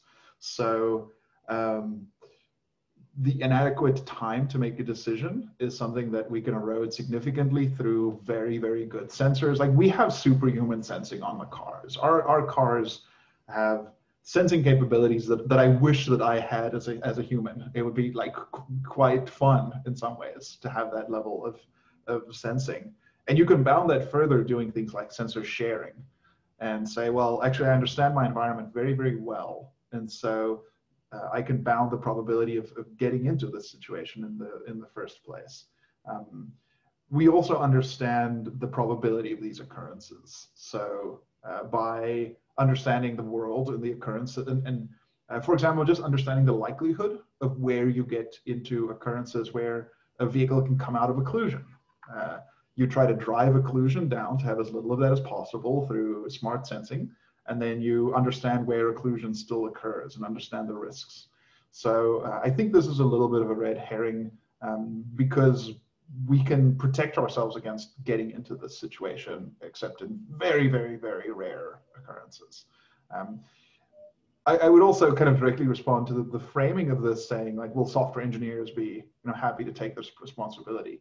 Um, at least the way that our organizations are structured, in the end, this is not something that lies with the software engineering organization. In the end, this is something that, that lies with uh, these organizations as a whole.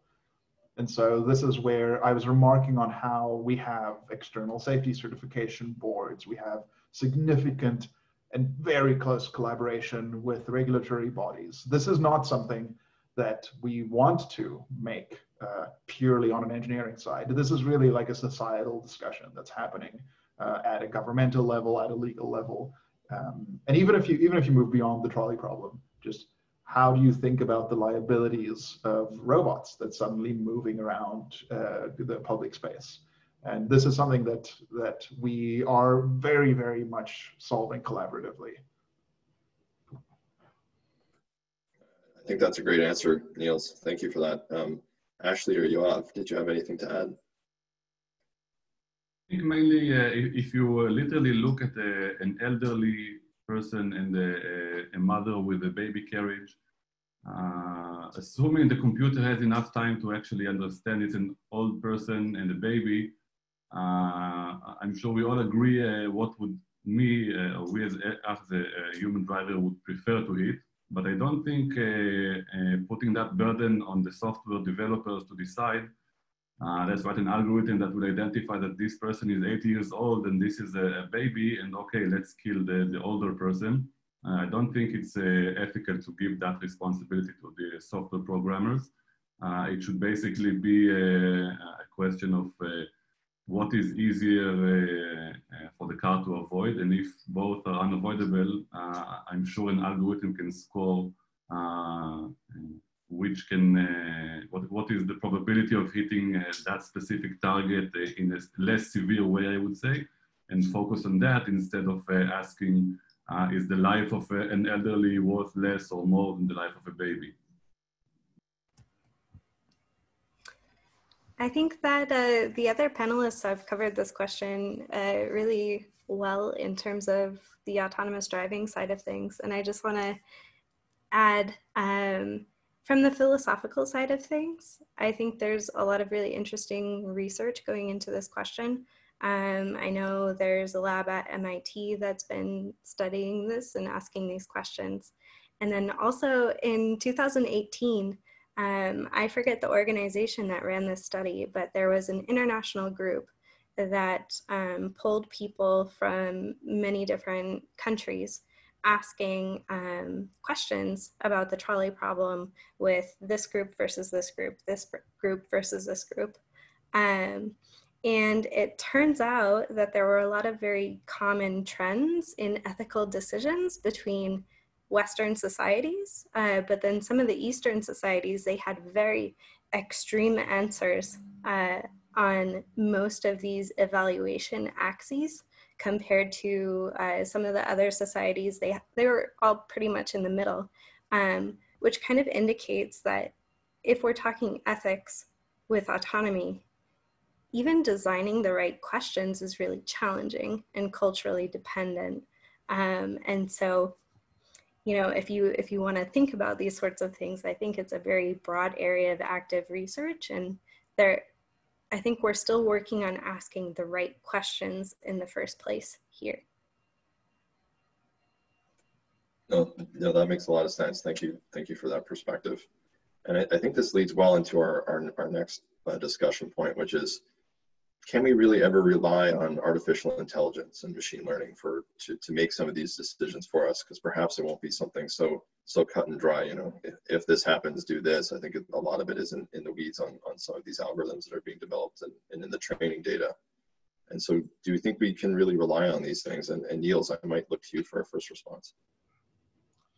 Sure. Yeah. Um, and yeah, I've touched on this a little bit before. It's worth drilling into this. Uh, like, it's a common misconception to think that like AI has to be better than human strengths to really solve this problem, or to really be like reliable or be able to solve critical situations. Uh, it it doesn't. It just needs to beat human weaknesses, and this is still very difficult, but it's much more within reach. Uh, if you remove the the distracted, drunk, and drowsy component of humans, then our AI systems are already much more reliable in critical situations based on this. Um, the real trade-off here is the challenge of being of, of how much you want to balance safety versus your ability to make progress.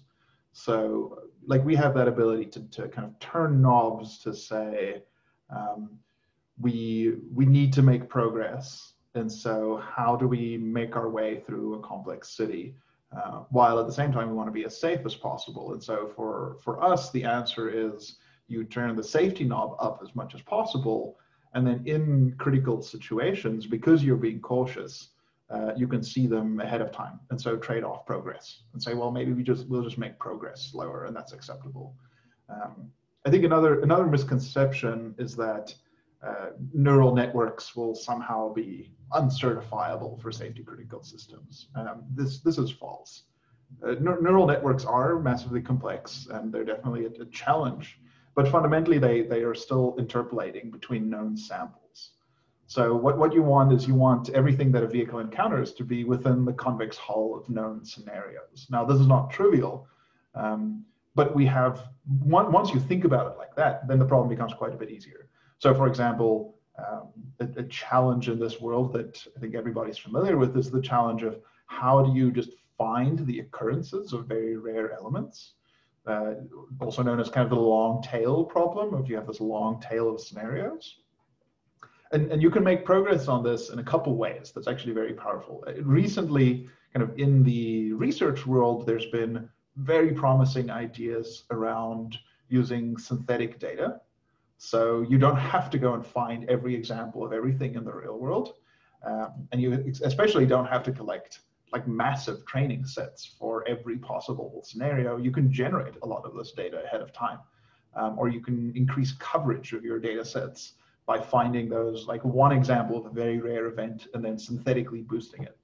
Um, another approach is to re, is to to reason about the geometry of these problems. Um, if you really think about it as like kind of pixels in driving commands out, then this is uh, then it, it seems quite challenging and how we would build a reliable system. But if you break down the problem more into its geometric components, then you can make much more progress. Um, so I, I, think I think that yes, absolutely, we can re like rely on artificial systems in critical situations, and then we will be able to solve the certification problem. Um, and, and, and, in many ways, this comes back to where localization and mapping really helps. Starting from a completely unknown environment, this, this is quite challenging. But if you can localize a vehicle on a map, you understand the static environment, and you can only look at the anomalies, what the dynamic actors are doing, what changes to the static environment.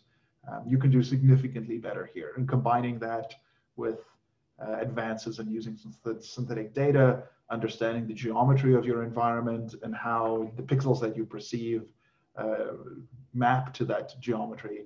Uh, I think yes, absolutely. And uh, we already have systems. Um, I'll, I'll, since we were talking about Elon Musk, um, the Tesla autopilot system has already been shown to be orders uh, close to an order of magnitude less accidents per mile.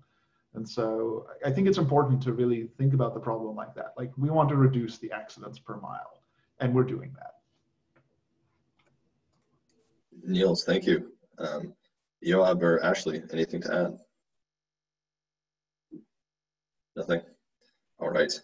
I think that's a good cue for us to take a, a short break. Um, so we'll target something like a 10 minute break. So if we could, maybe I think probably the easiest thing is to target just being back at uh, half past the hour for whatever uh, time zone you're in. And uh, yeah, we'll be back shortly. Thank you so much.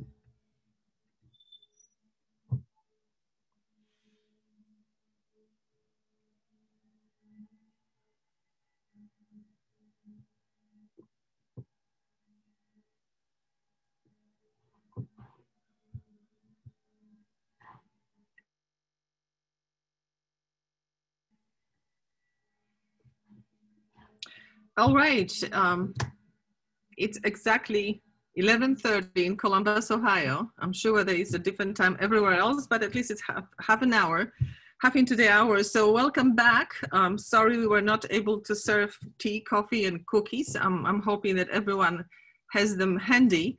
Um, so let's get back to our questions. The Q&A box is getting full and I'm gonna start um, from the top what I see in those questions. So um, all right, um, this is from Thomas Pani. Um, Thomas is asking, since autonomous driving on highway have been have already been discussed, can you iterate on that regarding driving on highways during the night? What are the fundamental challenges there? Who will take it first?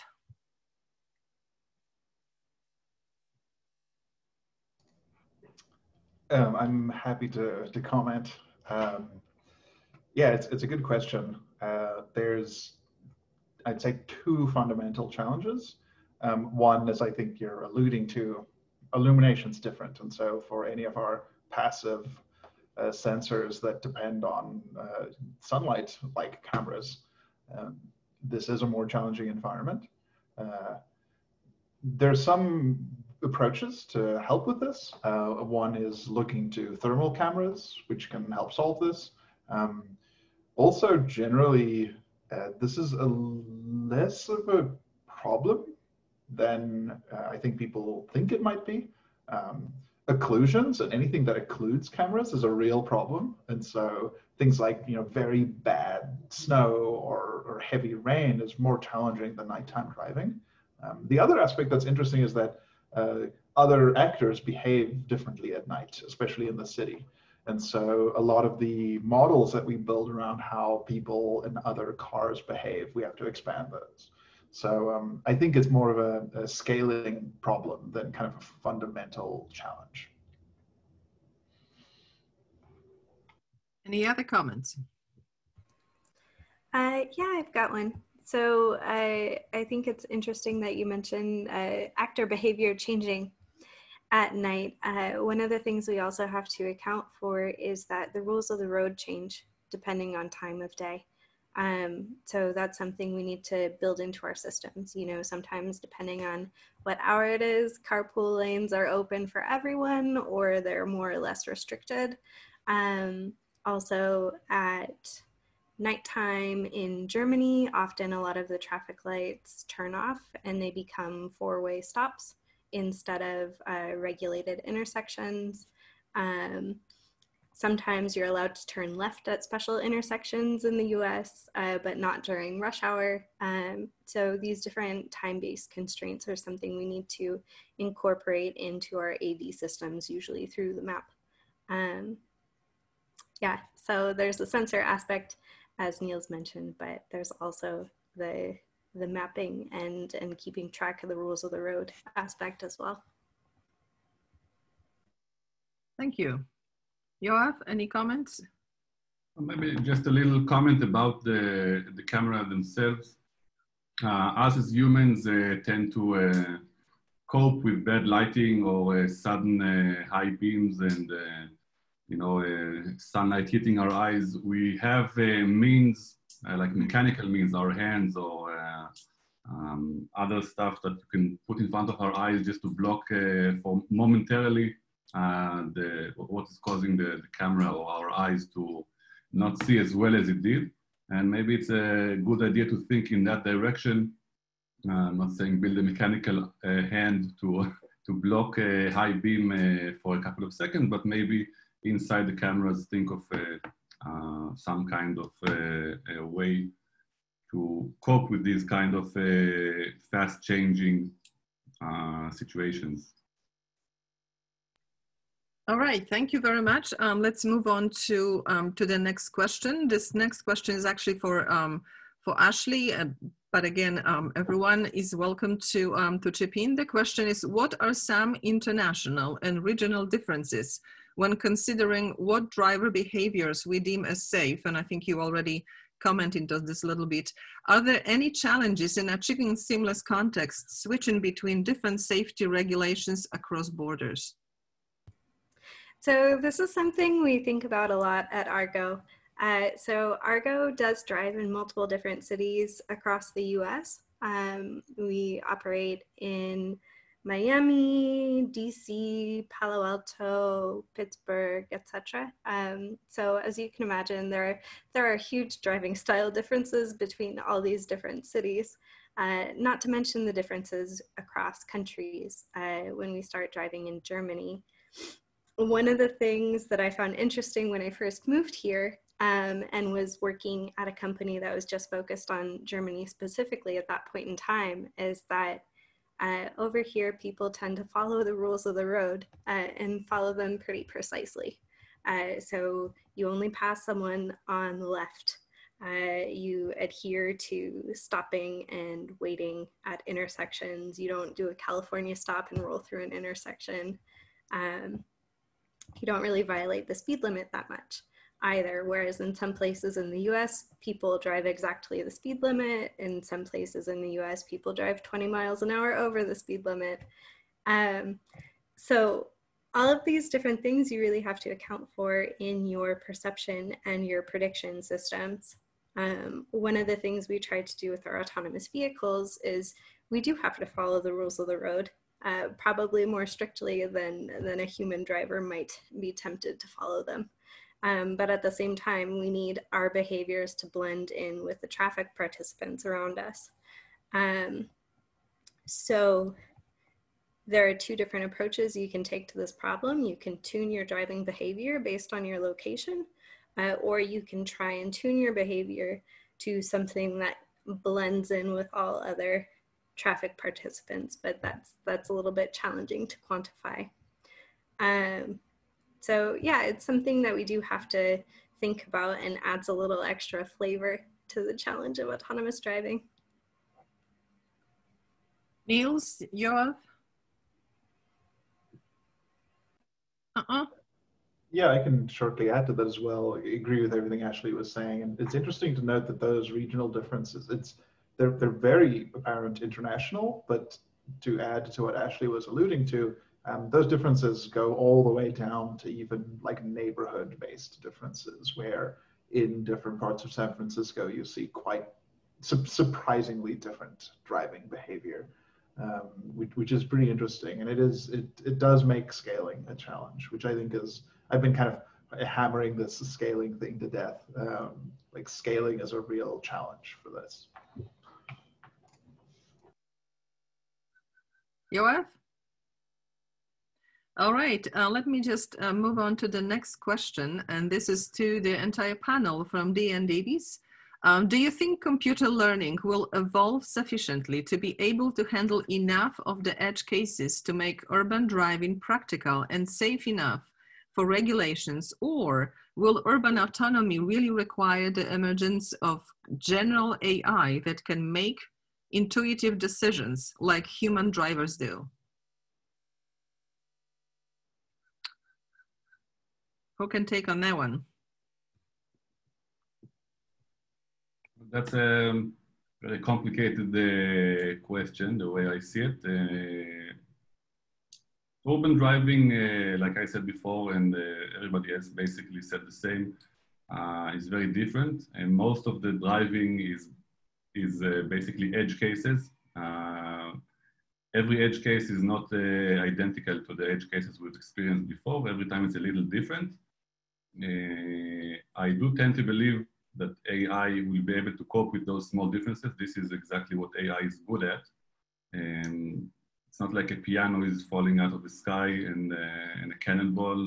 It, it's not like they're not very different. Uh, we are driving in a lane, and uh, although each edge case is different, they do have a common denominator between them, and we can group these kind of uh, edge cases and allow AI to uh, cope with them.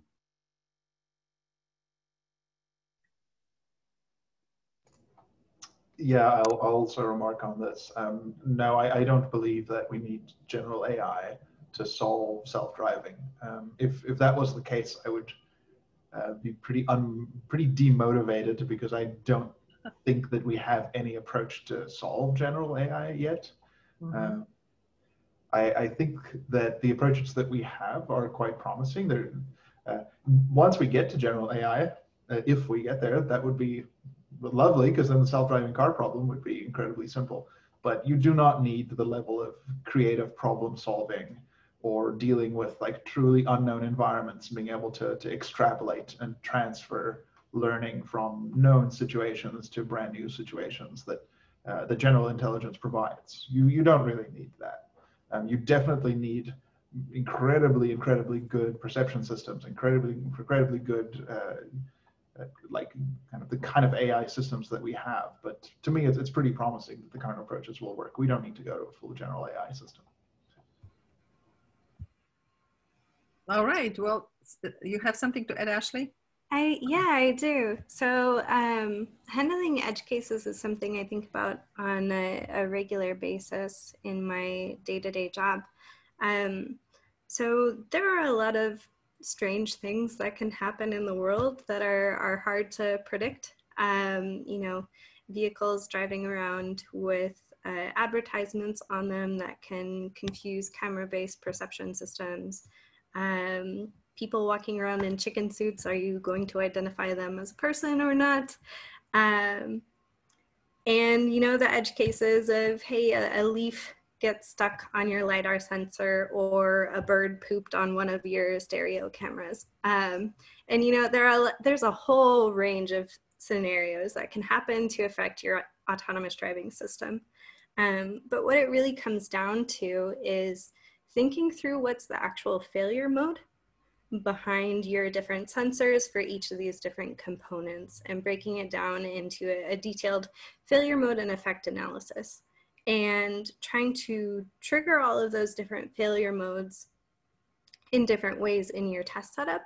But ultimately, um, if the LiDAR is blocked, you might see similar impacts on your localization system. For example, if you have a truck that's like parked next to you on the roadway and blocking your field of view as you would if you have a leaf on your LiDAR sensor.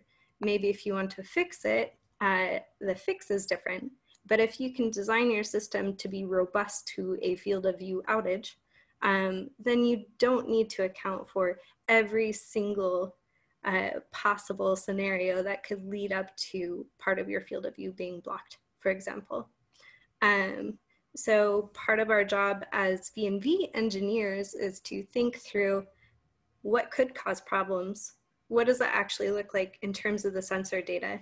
Okay, let's try and trigger all of those in testing that we can, um, and then monitor our fleet data and drive as much as possible to try and identify when there are cases that we haven't thought of yet, but really trying to be really thorough in uh, triggering all of the modalities even if we can't get every single root cause. All right, thank you very much. Uh, Tyler, over to you. And Dorota, thank you. Um, so my next question is uh, for Yoav, and this is really getting into the elements of cybersecurity in autonomy. And I think that often today in the design of, you know, just, you know, in the automotive industry by and large, I think, uh, cybersecurity and safety are often treated as two separate problems and are considered separately in the design of a vehicle. And Yoav, I'd love to hear your view on whether you think that should continue to be the case. Okay, thanks for the question, uh, Tyler. So we've all heard of uh, cases where a cybersecurity loophole uh, caused physical harm in many different industries, and uh, autonomous vehicles obviously are not different. Uh, a security hole Uh, can cause uh, physical harm. Uh, at Regulus, uh, we've uh, demonstrated that on a, a, Tesla last year. we can cause a Tesla simply by spoofing the GPS to cross the lane into oncoming traffic. Um, we presented that in, in, several opportunities. So the new components that are being added uh, to autonomous vehicles all include very sophisticated computing systems. They all run different operating systems uh, in different maturity levels. And obviously they contain potential security uh, holes ready uh, or waiting to be exploited by hackers.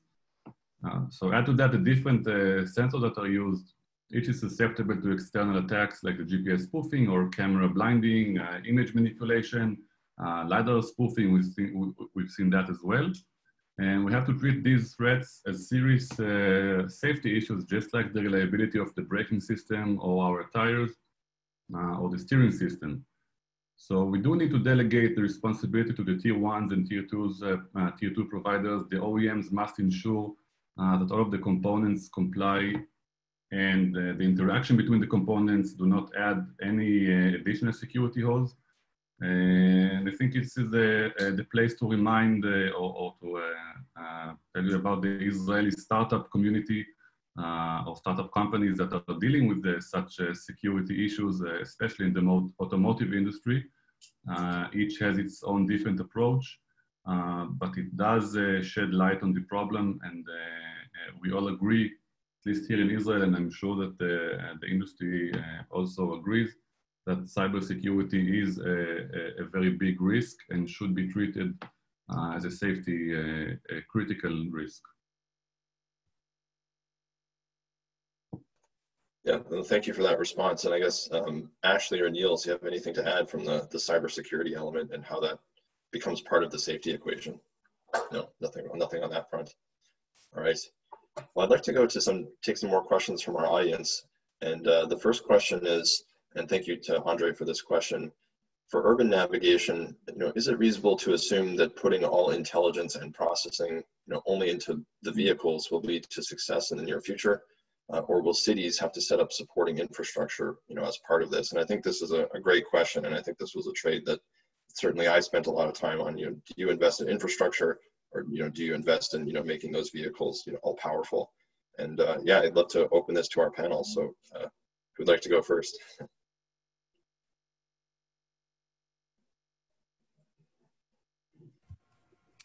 Uh, I don't mind chiming in here. Uh, so, you know, I think that there are a variety of different approaches. Um, and either, you know, that could be taken. However, when we're thinking about um, installing infrastructure in the urban environment and doing um, infrastructure to vehicle communication or vehicle to vehicle communication, we do have to think about the cybersecurity risk there. Um, so if everything is on the vehicle, you can have an isolated system that depends on itself and you can uh, take your own actions in your design to account for different failure modes you might see. Um, and so by opening it up and uh, looking for more like over the air linkages, then you have to start thinking about can somebody hack that signal? Can somebody spoof that signal? Um, so kind of tying back to the previous question there. Yeah, I, I love this question because this is something in a, in a previous role I've spent a lot of time thinking about. Um, with uh, before I was at Uber, I was at Swift Navigation, which is a company that specializes in GPS. Um, there's I'm going to break this down into two components. There's a, passive infrastructure, so examples like uh, lanes that are specific for autonomous cars. Um, this kind of work, uh, I think, is quite valuable and it, it's very similar to what we do with highways today. Uh, freeways are already access controlled infrastructure that we spend billions of dollars on that's like hugely beneficial even without autonomy. Uh, carpool lanes, it's fully passive infrastructure that helps with traffic flow. And so the idea of like, well, maybe we should have autonomous car lanes. I think that that's actually quite a powerful idea um, and, and will help us speed up the adoption of a lot of this work. Um, an area that uh, in the opening slide, Tyler had a great example of passive infrastructure, um, specialized pickup and drop off zones. This is great. This, this does make the autonomy problem easier. If you say, well, I know exactly where I can drop off people and there's some restrictions and uh, this, this helps a lot. Um, active infrastructure, which a lot of people are excited about, the kind of 5G based sensor sharing and the like. Um, my stance on that is that it is purely augmentative. It'll it'll help us, but it's quite difficult to at this point make an argument that that should be part of kind of the safety critical core. Um, the biggest challenge is uh, once again you have outages, and we have to deal with that in general. I mean, we have ways to deal with kind of faulty sensors, as, as Ashley has already remarked on. Um, but I think I, I, I do not believe that this is strictly necessary. I think the passive infrastructure approach is actually quite quite interesting and quite powerful, and is already happening. Some of that will, will undoubtedly happen to help speed up this this adoption. Um, I have not seen a compelling example of the active infrastructure truly speeding things up. What I think is pretty promising is the, a lot of the sensor sharing ideas that will come over time that will help with further driving safety, further driving uh, performance of our vehicles, to be able to, for example, have um, monitoring of pedestrians as they cross intersections. Uh, but fundamentally, we still have to deal with the fact that you have to predict what that pedestrian will do and be specifically cautious about them. And so it'll help with things like the detection challenges. And it'll reduce occlusion, which helps a lot. But uh, it doesn't solve the problem for us. And so and, and since you have outages, you still need to be able to perform safely. Perhaps slightly lower performance, a little bit degraded performance, but very much you want to be safe with just what's on the vehicle. Thank you for that, Niels. Uh, Yoav, looks like you have a comment. Uh, yeah, just a, a, short one. I'm a big advocate of uh, passive infrastructure. I, uh, in, in my vision, uh, autonomous cars will uh, drive on virtual, uh, say, railways even. Uh, that would obviously make the, uh, the problem of keeping the lane uh, much simpler. If you can like implant infrastructure inside the road, something similar to very sophisticated RFID tags in those lane marking reflectors, that would definitely help. Um, so I think the problem will be easier to solve if we have, the more passive infrastructure we have, the, uh, the easier the problem will become. Obviously, uh, all of the unexpected, you know, pedestrians jumping in, uh, cars stopping, we still have to have our obstacle detection mechanisms in place and make sure that those work and are reliable. Uh, but it will make the problem easier to solve and handle. Thank you for that. Uh, we have another question from our audience, and this one's coming from Mitch Nairns. Thank you, Mitch. Um, and the question is really about you know insurance and you know automotive operations worldwide rely on you know the transfer of risk through the purchase of insurance, you know both for material and personal injuries. How can or should or will this affect you know determinations of the cost of associated uh, with the risk transfer? And do you think insurance will go up or down? I think maybe is the question and maybe who buys it. I can get a, get a, a started. I think that the insurance, uh, uh, I mean, if the, the autonomous cars will not be reliable enough and they will keep crashing and killing people, obviously people will not want to use them. Uh, it will get to a level that uh, they are so good and there are no accidents, uh, maybe the whole discussion about the insurance uh, is not very relevant. So uh, it's an interesting question. Obviously, for the intermittent uh, time between uh, now and uh, when the autonomous revolution will actually uh, sweep us all off, off our, our, feet and be here. so for, for that time, right now, it is a big question who's going to take responsibility for, for accidents that occur either due to a problem in the algorithms or the hardware that fails in an autonomous vehicle.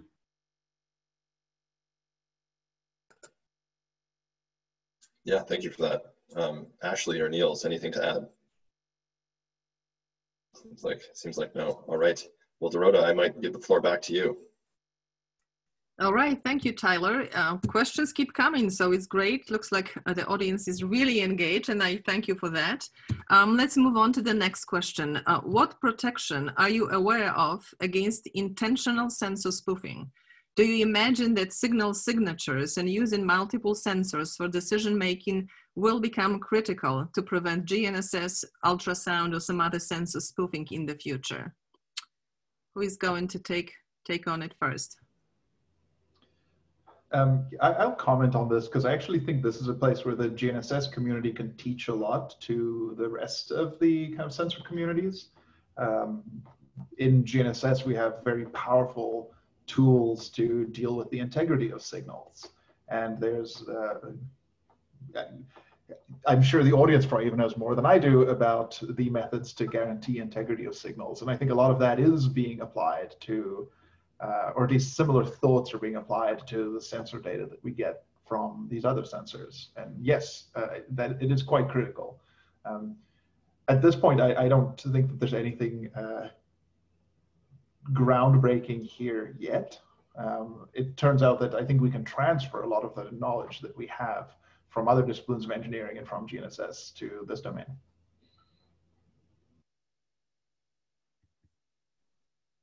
Uh, I would uh, also like to answer that question, or at least uh, uh say something about it. Uh, obviously, coming from the GNSS spoofing detection uh, side, this is something that is close to my heart. And, and I uh, keep asking myself, why, why is it uh, relatively or so easy to spoof GPS receivers today? Uh, and the cost of the attack is very cheap. we've demonstrated it multiple times on multiple occasions. Uh, for uh, uh, people in the community that follow us and what we're doing. so this problem is, it, it, seems that it should have been solved by now, but it hasn't. Uh, and we keep asking ourselves why uh, is it so easy to spoof a phone that is sitting on the table? Its inertial uh, systems are telling it you're not moving yet you're spoofing its gps and you can make it travel on the highway as if it was driving.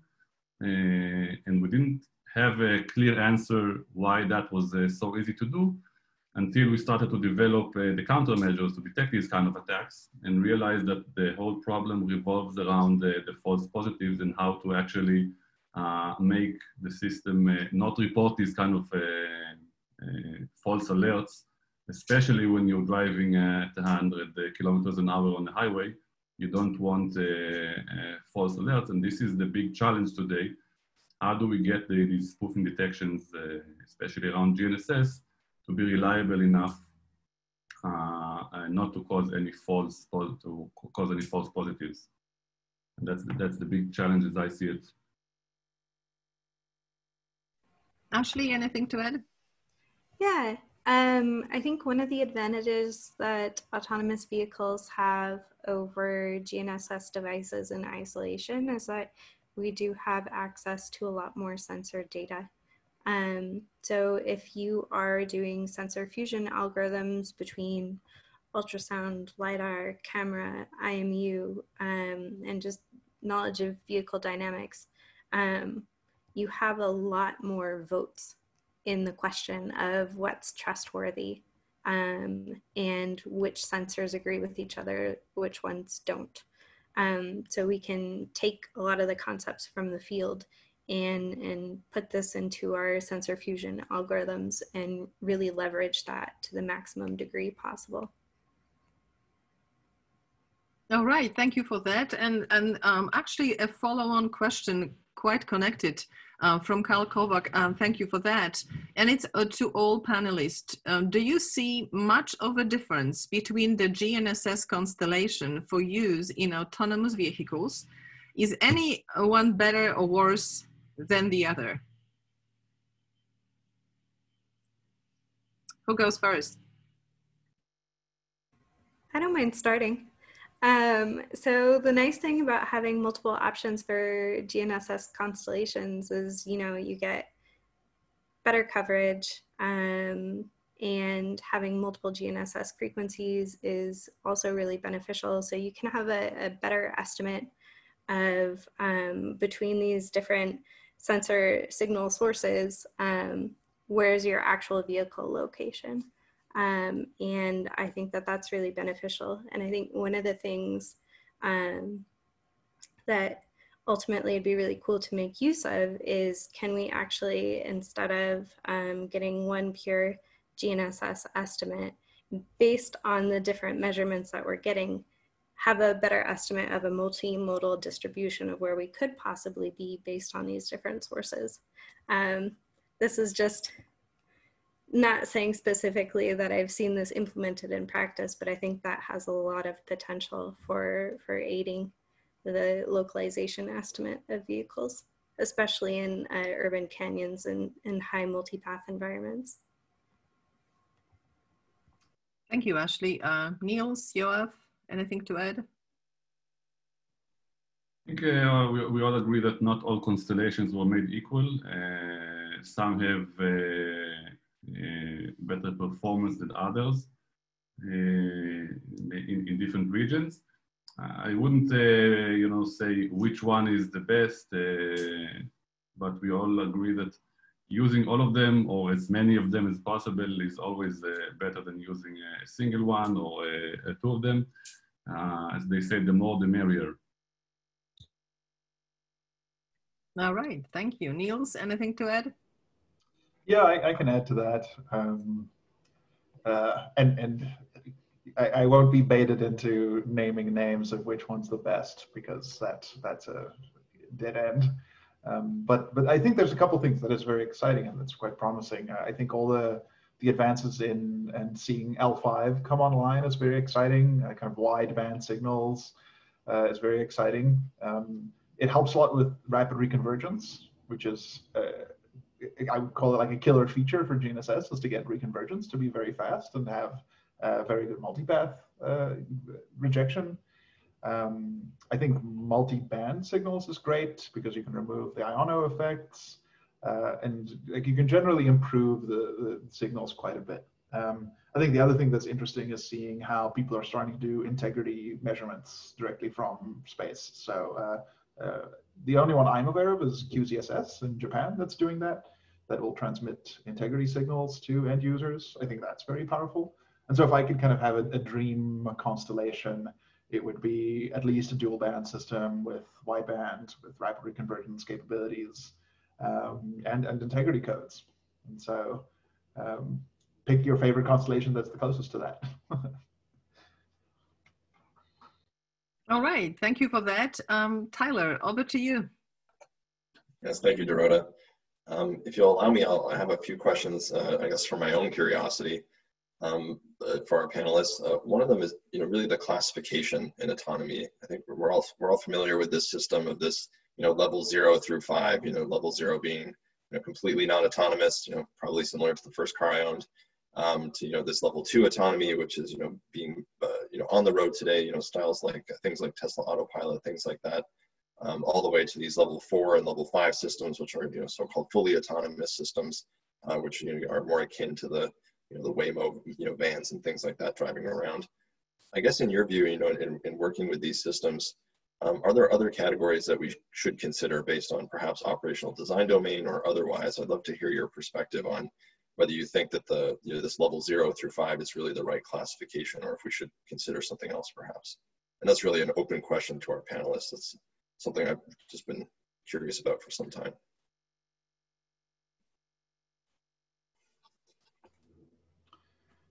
Um, yeah, I'll, I'll mention, uh, I'll comment on that a little bit.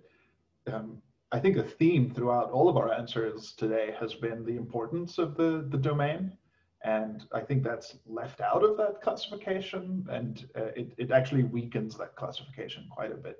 Um, thinking about the domain and how tightly controlled the domain is that we're operating in is, is in many ways a more powerful way to think about autonomy. Um, so I, I, I, like to open up like an additional axis. It's kind of your L1, L0 through L5 uh, capabilities of the autonomous vehicle and then the operating design domain and what what is really being controlled and how tightly is controlled and what can we expect in it. Um, I don't, uh, that being said, the, the levels of autonomy is a useful way to think about this and helps it ex explain to people. Um, I think realistically speaking, there's really only the um, do we assume that we have a human driver still in the driver's seat that can somehow help us, uh, or is the is the is it purely a passenger and there's no steering wheel? And I think that that's maybe in that kind of classification. That's the important split. That's kind of the important step change we go over. Do we have a human operator in the vehicle? That can help somehow, whether that is through supervising the vehicle or whether it is through uh, taking over to drive complex environments that the car can't handle itself?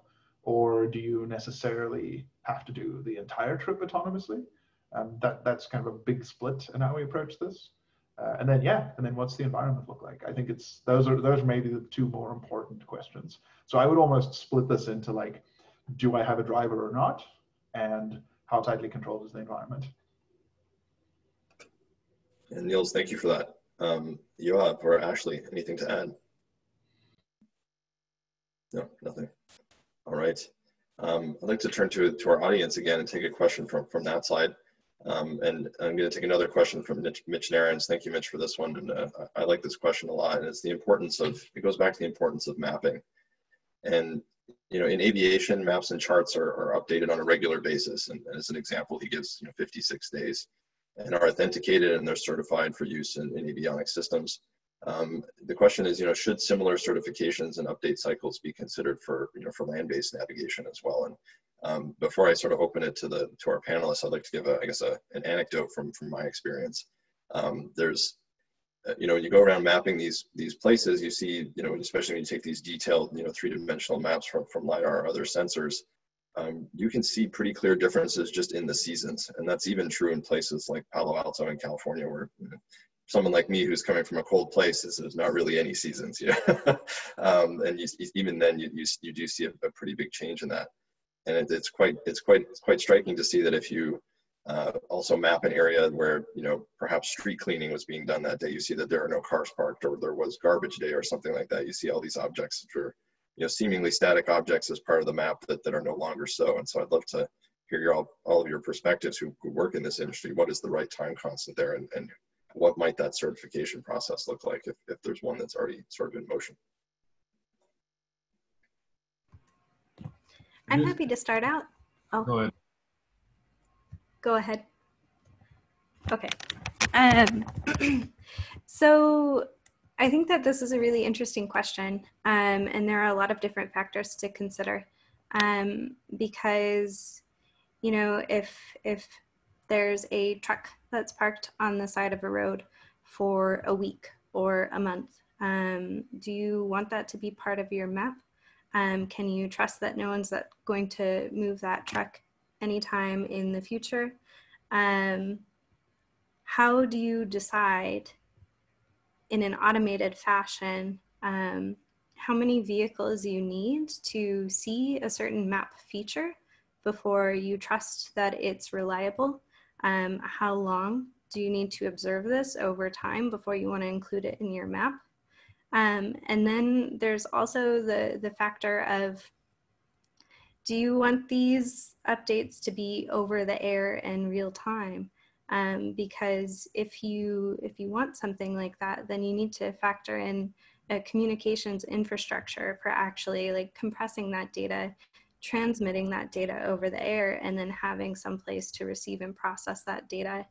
Um, and is that going to be real time on the car or are you going to do it when the car returns to a service station, for example? Uh, and if you're waiting until it returns to a service station, how much storage do you want on the vehicle in order to hold that information? Um, and very tightly coupled into this fact is what sort of representation of the environment do you have in your map? If it's a point cloud map, the data volumes are going to be massive. Uh, so maybe that implies that you can't actually afford to transfer them over the air, or maybe it implies that you don't have enough room to store a long-term amount of data on the vehicle. Um, however, if the data volumes are mass massive, then maybe it's more challenging to actually validate your confidence in those new updates.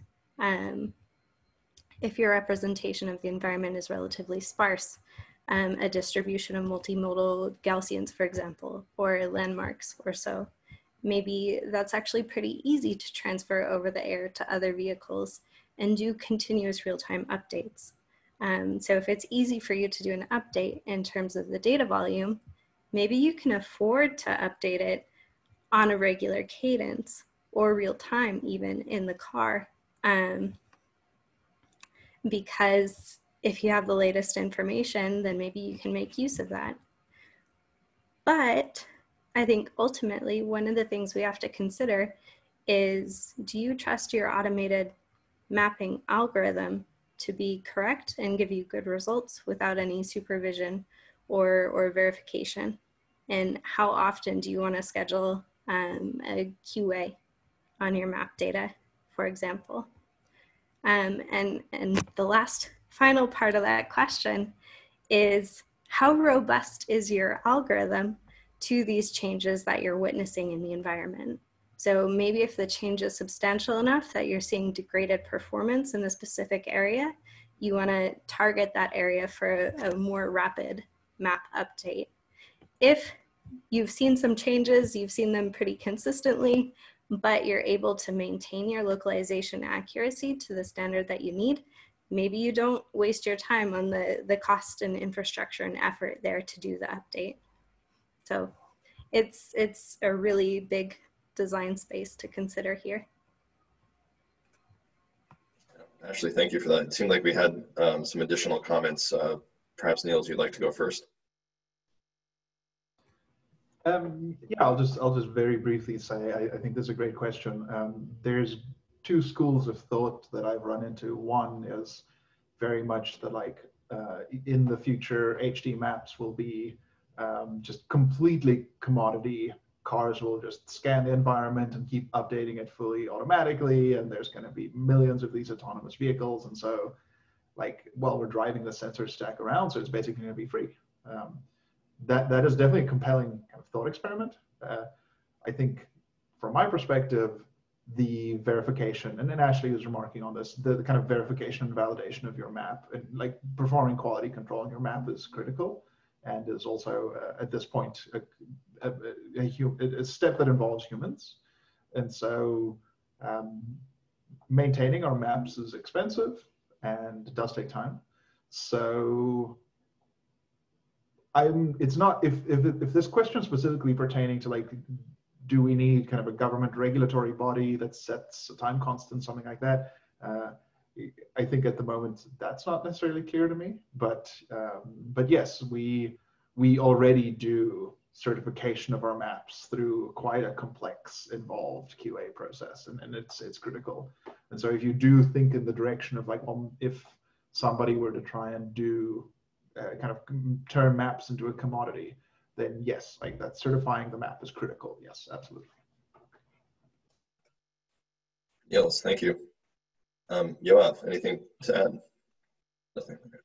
Uh, Dorota, I might turn the floor back to you. All right, thank you, Tyler. And I've been uh, reading the Q&A box and I love a question from Todd Kawakami. Thank you for that. It's a different question. So many people spend countless hours personally maintaining and modifying the cars for performance or looks. Uh, think of monster trucks or uh, street, uh, street racers.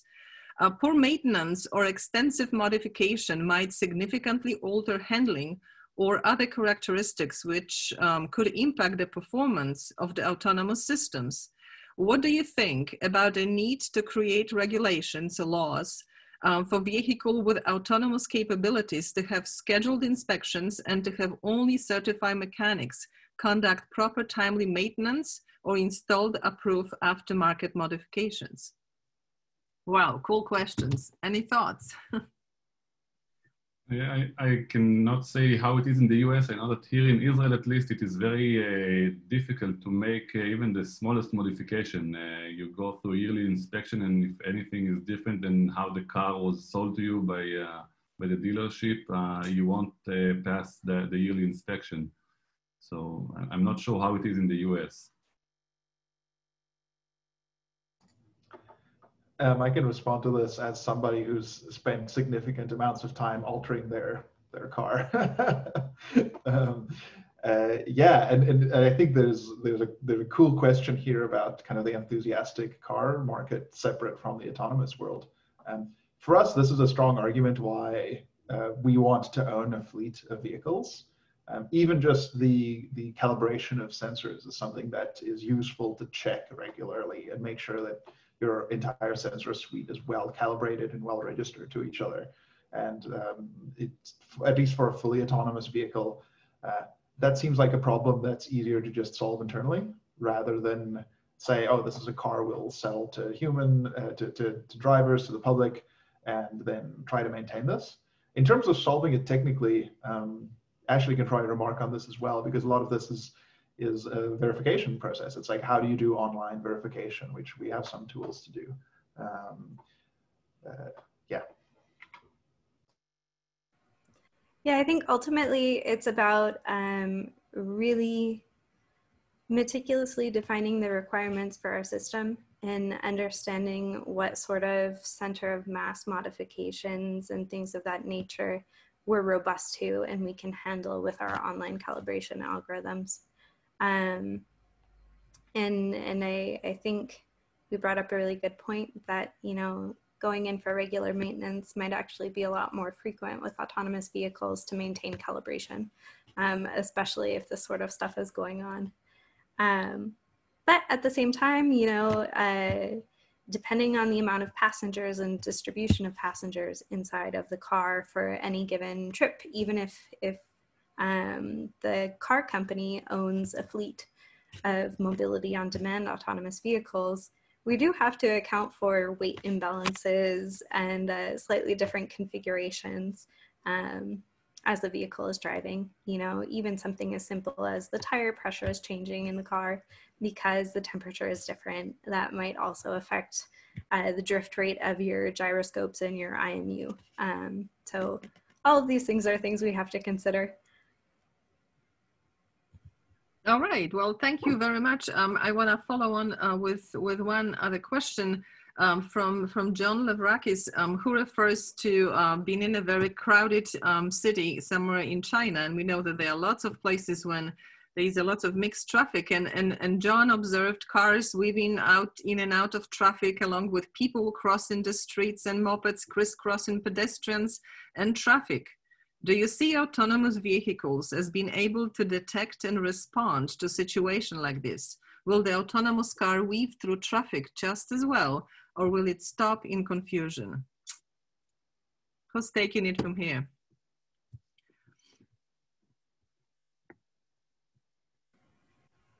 I don't mind chiming in here.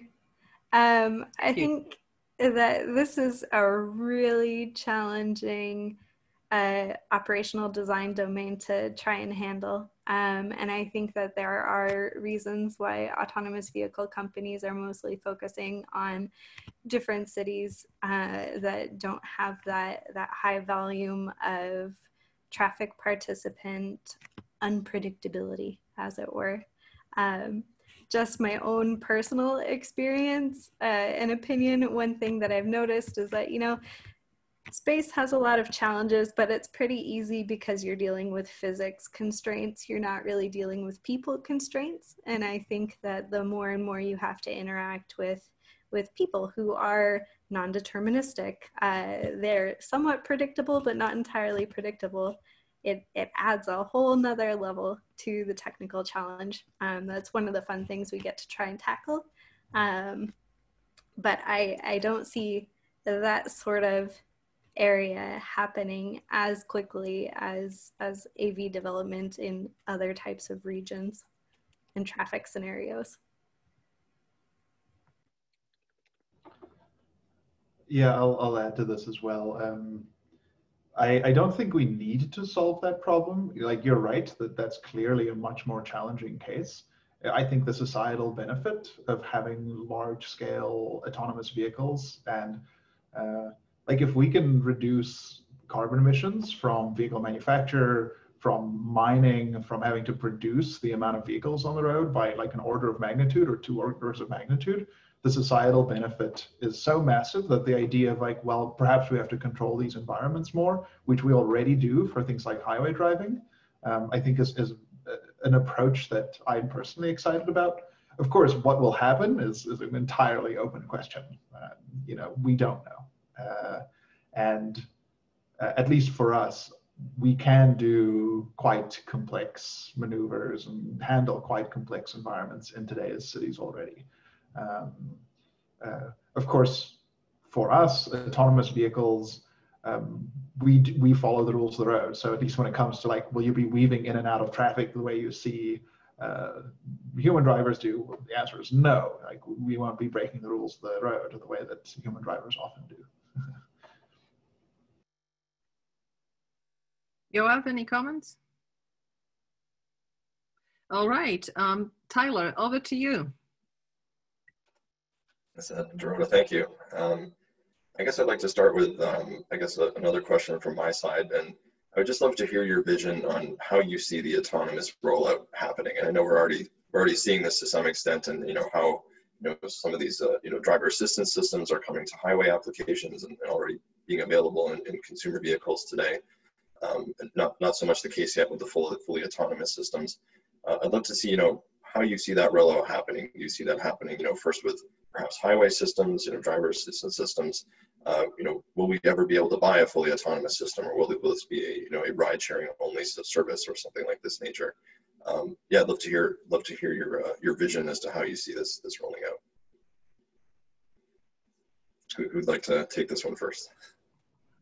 Very good. I see Niels is unmuted. So. This, is a, this is a fun question. So yeah, I, I want to comment on that.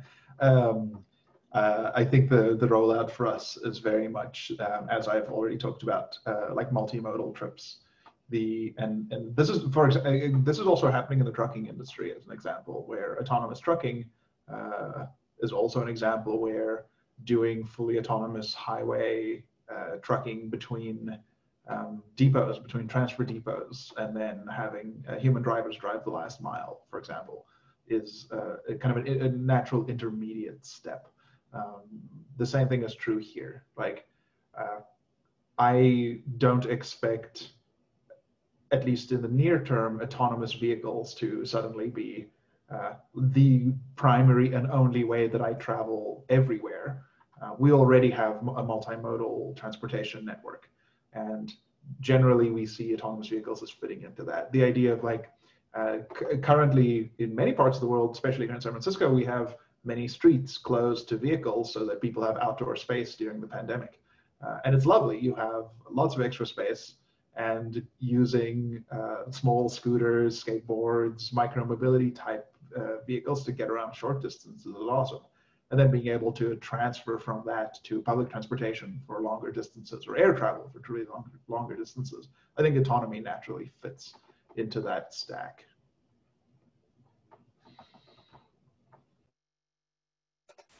Yes, thank you for that. Um, Ashley or, or Yoav, anything to add? Sure.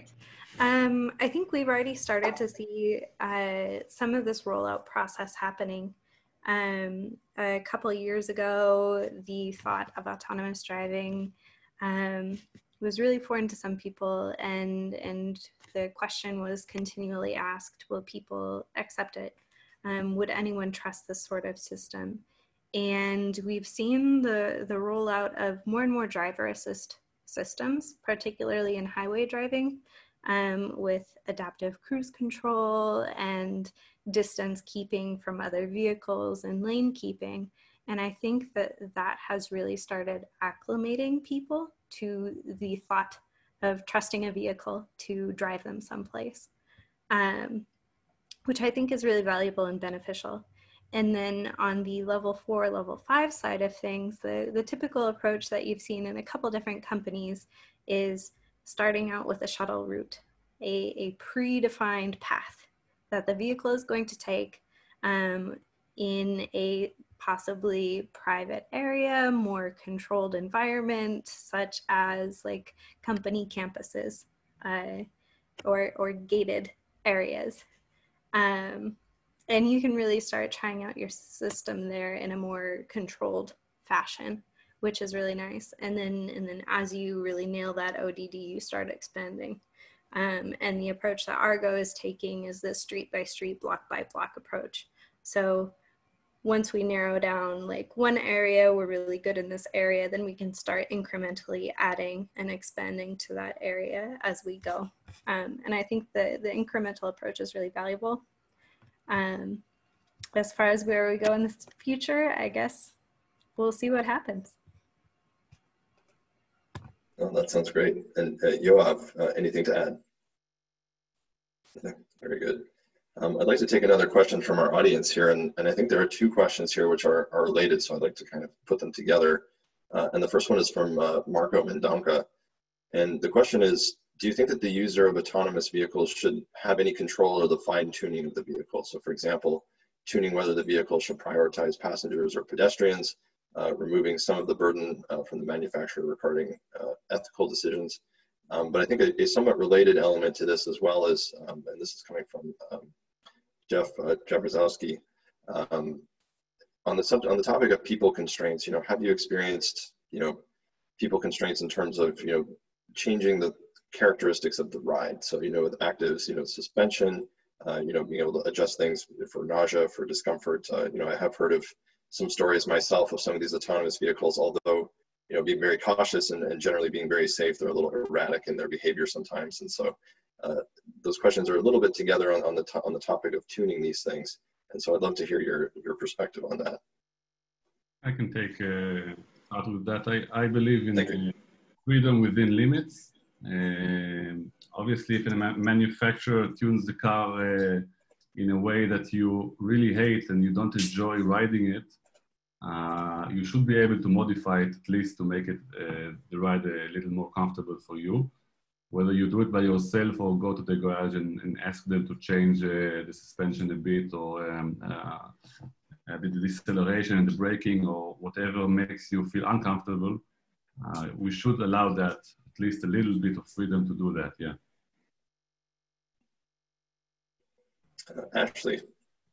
Uh, yeah. So, you know, uh, about the the ethics question um, and the safety question, I don't think we can really afford to compromise on ethics and safety for the sake of um, personal preferences. But I think that uh, reflecting personal driving preferences in vehicle is something that does currently exist um, in standard like commercial cars that you can purchase for your own use. Um, so I could see where that would reasonably extend to autonomous driving. Uh, you know, I used to have a, a Volkswagen car that had sport mode in it. And depending if you were in regular driving mode or sport mode, the anti-lock brake system would behave very differently. Um, so you had three levels of, of selection there in terms of like the conservative anti-lock braking, the sport mode braking, and turning it off completely yourself. But um, within each of those different levels that you could choose from, the car still had to be safe and meet certain regulations. Um, so I could see it being reasonable that as long as we could still make those guarantees, um, you could choose the difference between maybe being a little car sick but getting to your destination 10% faster. Uh, that could be reasonable. Ashley, thank you. Uh, Niels, looks like you just unmuted. Yes, I, would love to add to this as well. Yeah, um, uh, at Uber, we think a lot about three aspects of our self-driving cars. We think about uh, prime, number one always is safety. Um, how do they perform around hazards? Then number two is our ability to make progress. How well are we performing to get to our goal? Uh, and then the third, which is uh, equally critical, is rider comfort. Um, we, uh, across the organization, measure our performance on bad experiences and how many bad experiences occur across a trip.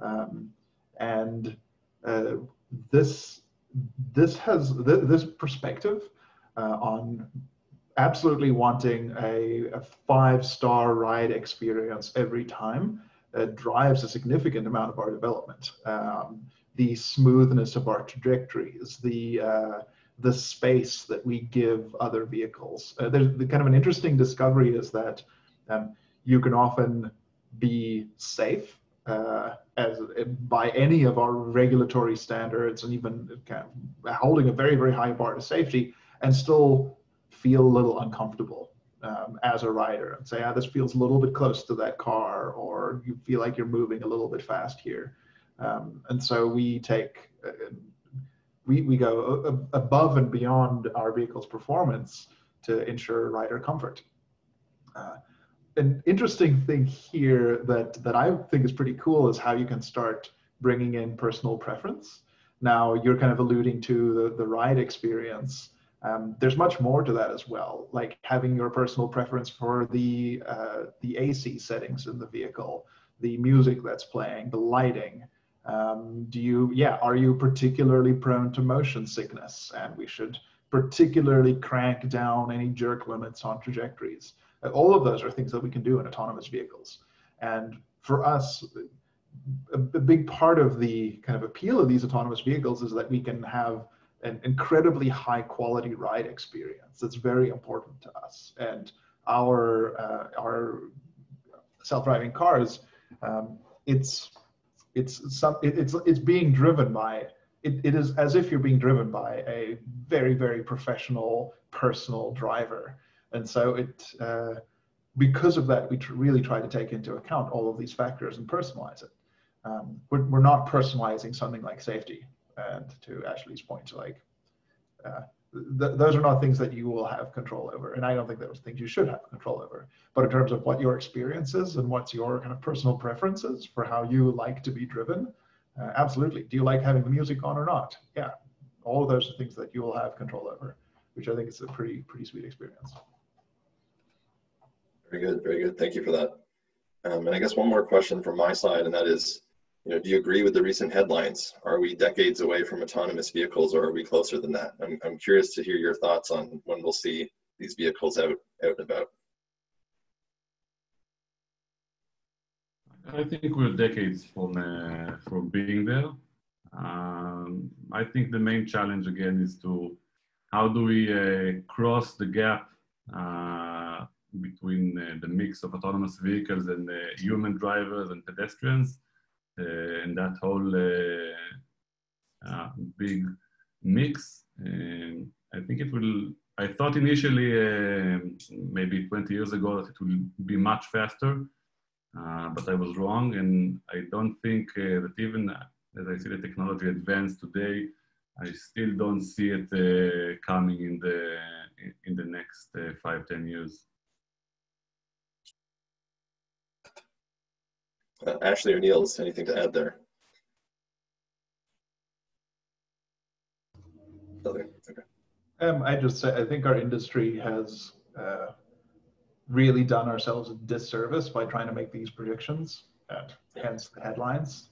So I, I will not add to that noise. yeah, no, that, that, that's fair enough. That's fair enough. Uh, I think we can all at least say that perhaps we have job security for, for some time. uh, yeah, maybe. uh, but with that, Dorota, I'll, I'll turn the floor back to you. Thank you, Tyler. Um, I just noticed um, a really um, cool question came to the Q&A box um, from Lakshay Narula. Um, we don't expect autonomous vehicles to drive as aggressively as human drive as well, at least some.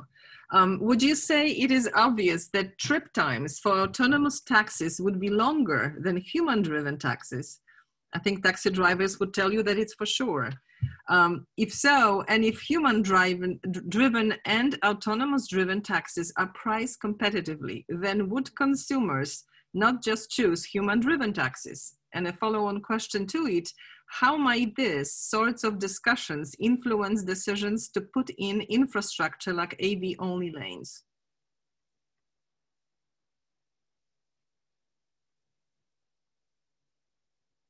Niels, wanna take a, Ashley, you just unmuted. Go ahead. Yeah, um, you know, I think drive time is definitely one uh, optimization criteria when you're thinking about what do you value in a taxi ride. Um, but I think that uh, the comfort of the acceleration profile and the smoothness of the ride is another factor. Um, probably somebody with young children might want something that's extra safe rather than something that's extra fast, but maybe a little bit aggressive. Um, so it's it's all about personal preference. Like, do you want a system that is going to have sensors that maybe see further with their with their superhuman sensing, as Niels said earlier? Um, and do you value safety? Do you value ride smoothness? And maybe people just think that technology is cool. Personally i would ride in an autonomous vehicle just because it's it's really exciting. It's kind of the next wave of, of evolution in our transportation system. Um, so I, I find that awesome enough to want to ride in one anyway. Um, yeah. So so i think there are a couple of different factors here. Uh, in addition to just ride time. And you know, maybe you also have introverts who don't want the pressure of socializing with a taxi driver and just want to sit alone in the autonomous vehicle and let the robot car drive them where they want to go. Um, or maybe you have a really close group of five friends and you don't fit in a regular taxi with the driver. So you can fit one more friend in the car with you. Um, yeah, lots of different things factor into it. So I, I don't see ride time as, as a blocking factor here. Well, but when I love your point, Ashley, about the driver who wants to become friends. The moment you you get the the airport after 24 hour on your flight, and you just want to get home rather than socialize. Um, Niels and or, or any comments from your side?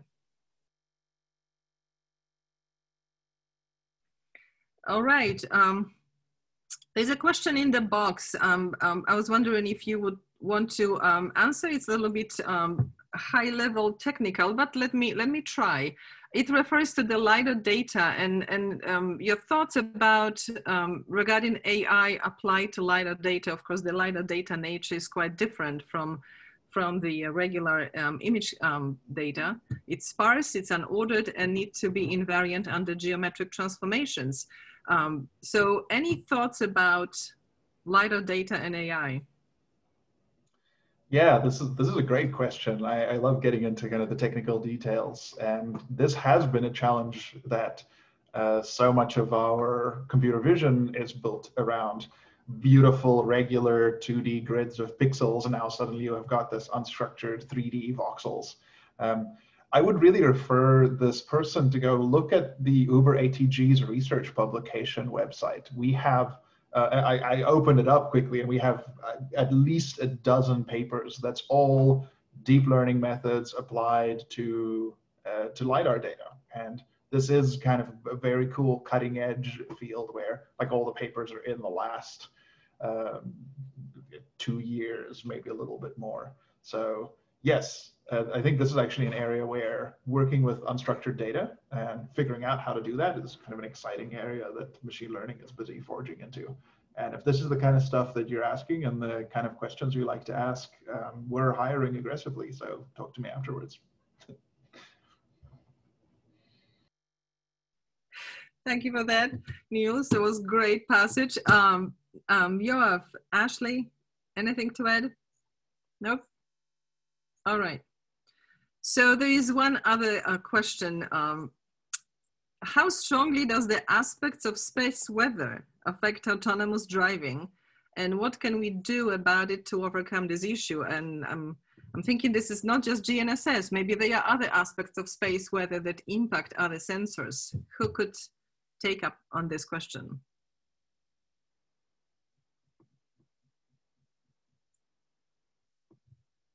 All right, I guess we just um, leave that question open and ask it some other panel. I, I, can I, I can take a stab at it if nobody else would like to. Um, yeah, so I, I think that we all are familiar with the impacts of space weather on GNSS quality. Um, and I think that off of the top of my head, that's really the biggest impact on autonomous driving. So um, the amount that it affects our vehicles is really going to be dependent on how strongly they rely on GNSS as part of their localization subsystem. Um, what can we do about it to overcome the issue? Multiple sensor modalities. Uh, I feel like a broken record, but yeah, I, I think that's it's a short answer, high level, but I, I think that's the most that can be said about that. All right, I just I just want to add one comment. Yeah, when I was looking at this question, I was like, uh, it's inevitably GNSS and space weather um, because we talk about so much about GNSS. So to the person who asked the question, I may suggest if you have interest in space weather and aspect of um, impact on GNSS and and things we might possibly do, I would suggest you contact uh, Dr. Jade Morton from the University of Colorado. She lives in space, so she would be very, very happy to answer this question. All right, um, there is no more questions in the box and I have just one question uh, left on my list. And I know that uh, many of you touched upon this aspect before, but if you could maybe um, make some, uh, some comments um, about the acceptance level. We talk about technological barriers, regulations, and, and all the cool things that we kind of have more control of. The question is now how the societies would accept the technology. And, and Ashley, I think you touched upon this quite a bit, but um, if you could comment more on how you expect how fast te this technology would be accepted by different societies, and would that be um, different, you know, with different geographic locations and different um, cultures? Yeah, you know, I think that we've seen a really rapid acceptance um, in the US so far, um, or at least I've been pleasantly surprised by, by how quickly these technologies are getting integrated in some of our commercial vehicle products. Um, you know, even if they're not level four or level five, I think level two and level three, that still adds a lot of value and, and helps dip our toes in the water of autonomy.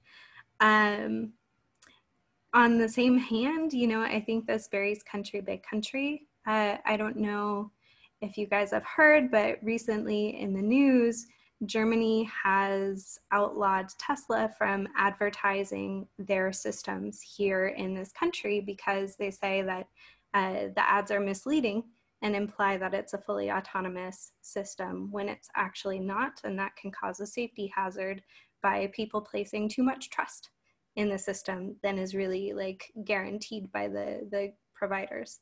Um, so I think that this is definitely going to be a, a culture by culture thing. Um, yeah, I, I think that we can get there, but I think it'll happen at different speeds depending on, on the different value systems. Thank you for that. Um, Niels, Yoav? I think, I think uh, geography matters a lot. Also, uh, uh, the regime in a specific country. Uh, take China, for example. Uh, I, I, see it. Uh, I've been to China the first time in 2001, I think. and the amount of scooters, gasoline-powered scooters, there was was huge, and it was like total mayhem in the streets. Bicycles, scooters, crisscrossing the streets and the next time I was there was uh, only a, a, a, year or a year and a half ago, and things have changed so dramatically. Uh, I don't see it happening in other countries so fast. So I think if the government wants, uh, I can say, wake up one day and say, uh, I don't allow any uh, non-autonomous uh, cars driving in that part of the city or in that part of the neighborhood. I, I, see it as a very feasible option. Uh, so that might drive adoption uh, in certain countries uh, much faster than in other countries. Thank you. Uh, Niels, anything to add? Um, I don't think I really have much to add. I think uh, it's pretty well covered, yeah. All right. Well, thank you so much. Um, Tyler, over to you. Yeah, I think that that's, uh, you know, thank you all, all of our participants for, the, for all those great questions. I think that um, uh, that's that's the end of the question sort of session here. I think that we've come to the point where we can uh, begin our, our, sort of concluding remarks. And so I know some of our panelists had asked to to, to do so. And um, Niels, maybe we could start with you. Yeah, sure. Thank you. Um, thank you so much for the opportunity to come and speak to everybody here. It's it's great to be here. Um, we are, like I said, we're actively hiring. And so if you're interested in this field, uh, please do talk to me and look at our careers page because we'd love to have more people come and work on this problem. Um, Ashley. Uh, yeah, I also wanted to say thanks for for inviting me to this panel and thanks for all of the really great questions and the fun discussion. Um, I think that it's really encouraging to see uh, all parties that are invested in this problem and this technology from regulation to implementation to tangential fields like GNSS that really support this technology development. Um, and I think by continuing to all like have these open discussions and working together to really push it forward, um, I think I see a lot of potential here and I'm excited to see where it goes in the future and we're also hiring. Excellent, thank you. Uh, Yoav. Uh, yeah, I also want to thank everybody. Uh, it was a very interesting panel. I, I really enjoyed uh, being a member. Uh, the questions were extremely interested, and I have to say that I personally learned uh, a lot of new things, both from uh, the questions and panelists. So yeah, thank you for having me. Yeah, well, thank, thank, thanks to all of you. And to, to give a few remarks myself, I just want to say a, you know, big thanks to all of our panelists. Uh, I also learned a lot today, and I think that it's important to keep these kinds of discussions going and keep them open, as, as was mentioned. So we really appreciate you taking the time and, and also just giving your perspective. Um, I'd also like to thank our um, our ION staff for, for making this this possible. I think that this was a, as smooth as it could be, uh, not not because of us, but because of the, of the staff and, and chasing us down and getting this going. So we really appreciate you know you making that happen, especially with uh, know with all the uncertainty surrounding COVID. I think that this came together very well, you know, all things considered. Um, and really a big thanks to all of our all of our uh, our participants today. I think we it was great to see all the engagement and all, all the great questions there and I think it did exactly what we hoped it to, which was to you know provoke you know all these thoughts and, and discussion. And I think we had a great showing. I think on average we had something like 140 participants uh, stay with us almost the whole time, and so we're really glad to see that. And yeah, appreciate all of you uh, making uh, making this panel a great one. And then I'd also like you know to thank Dorota. You know, thank you for for uh, for for doing this with me, and I'll, I'll turn the floor over to you. Thank you, Tyler. I just I just want to echo what Tyler just said. Um, many thanks to the panel and to Tyler. Tyler, you have to admit you've done all the heavy lifting. I, I, am just assisting and I'm happy to do so. Thank you so much for, um, for being on top of things. And um, we are very grateful to the panel. I think we all admit um, openly. We learn a lot, and I look forward to having you again in the next meeting because this topic is not going to go away until we have autonomy. And we decided today it's not going to happen for a few decades, right? so there's a long way to go and multiple PhD um, dissertations to be written. So once again, uh, look forward to more conversations, more discussions. Uh, thank you to the audience for fantastic engagement and great um, challenging questions. Um, and of course, again, thank you to ION staff. I want to echo what um, what Tyler said. It's very smooth. It's it's fantastic. What I'm missing is the is the schmoozing and the tea and and coffee and what have you. And I certainly hope that the next meeting is going to happen in three dimensions. I really am missing all of you guys, and I would love to see everyone in person. Thank you again, and stay safe and healthy. Thank you.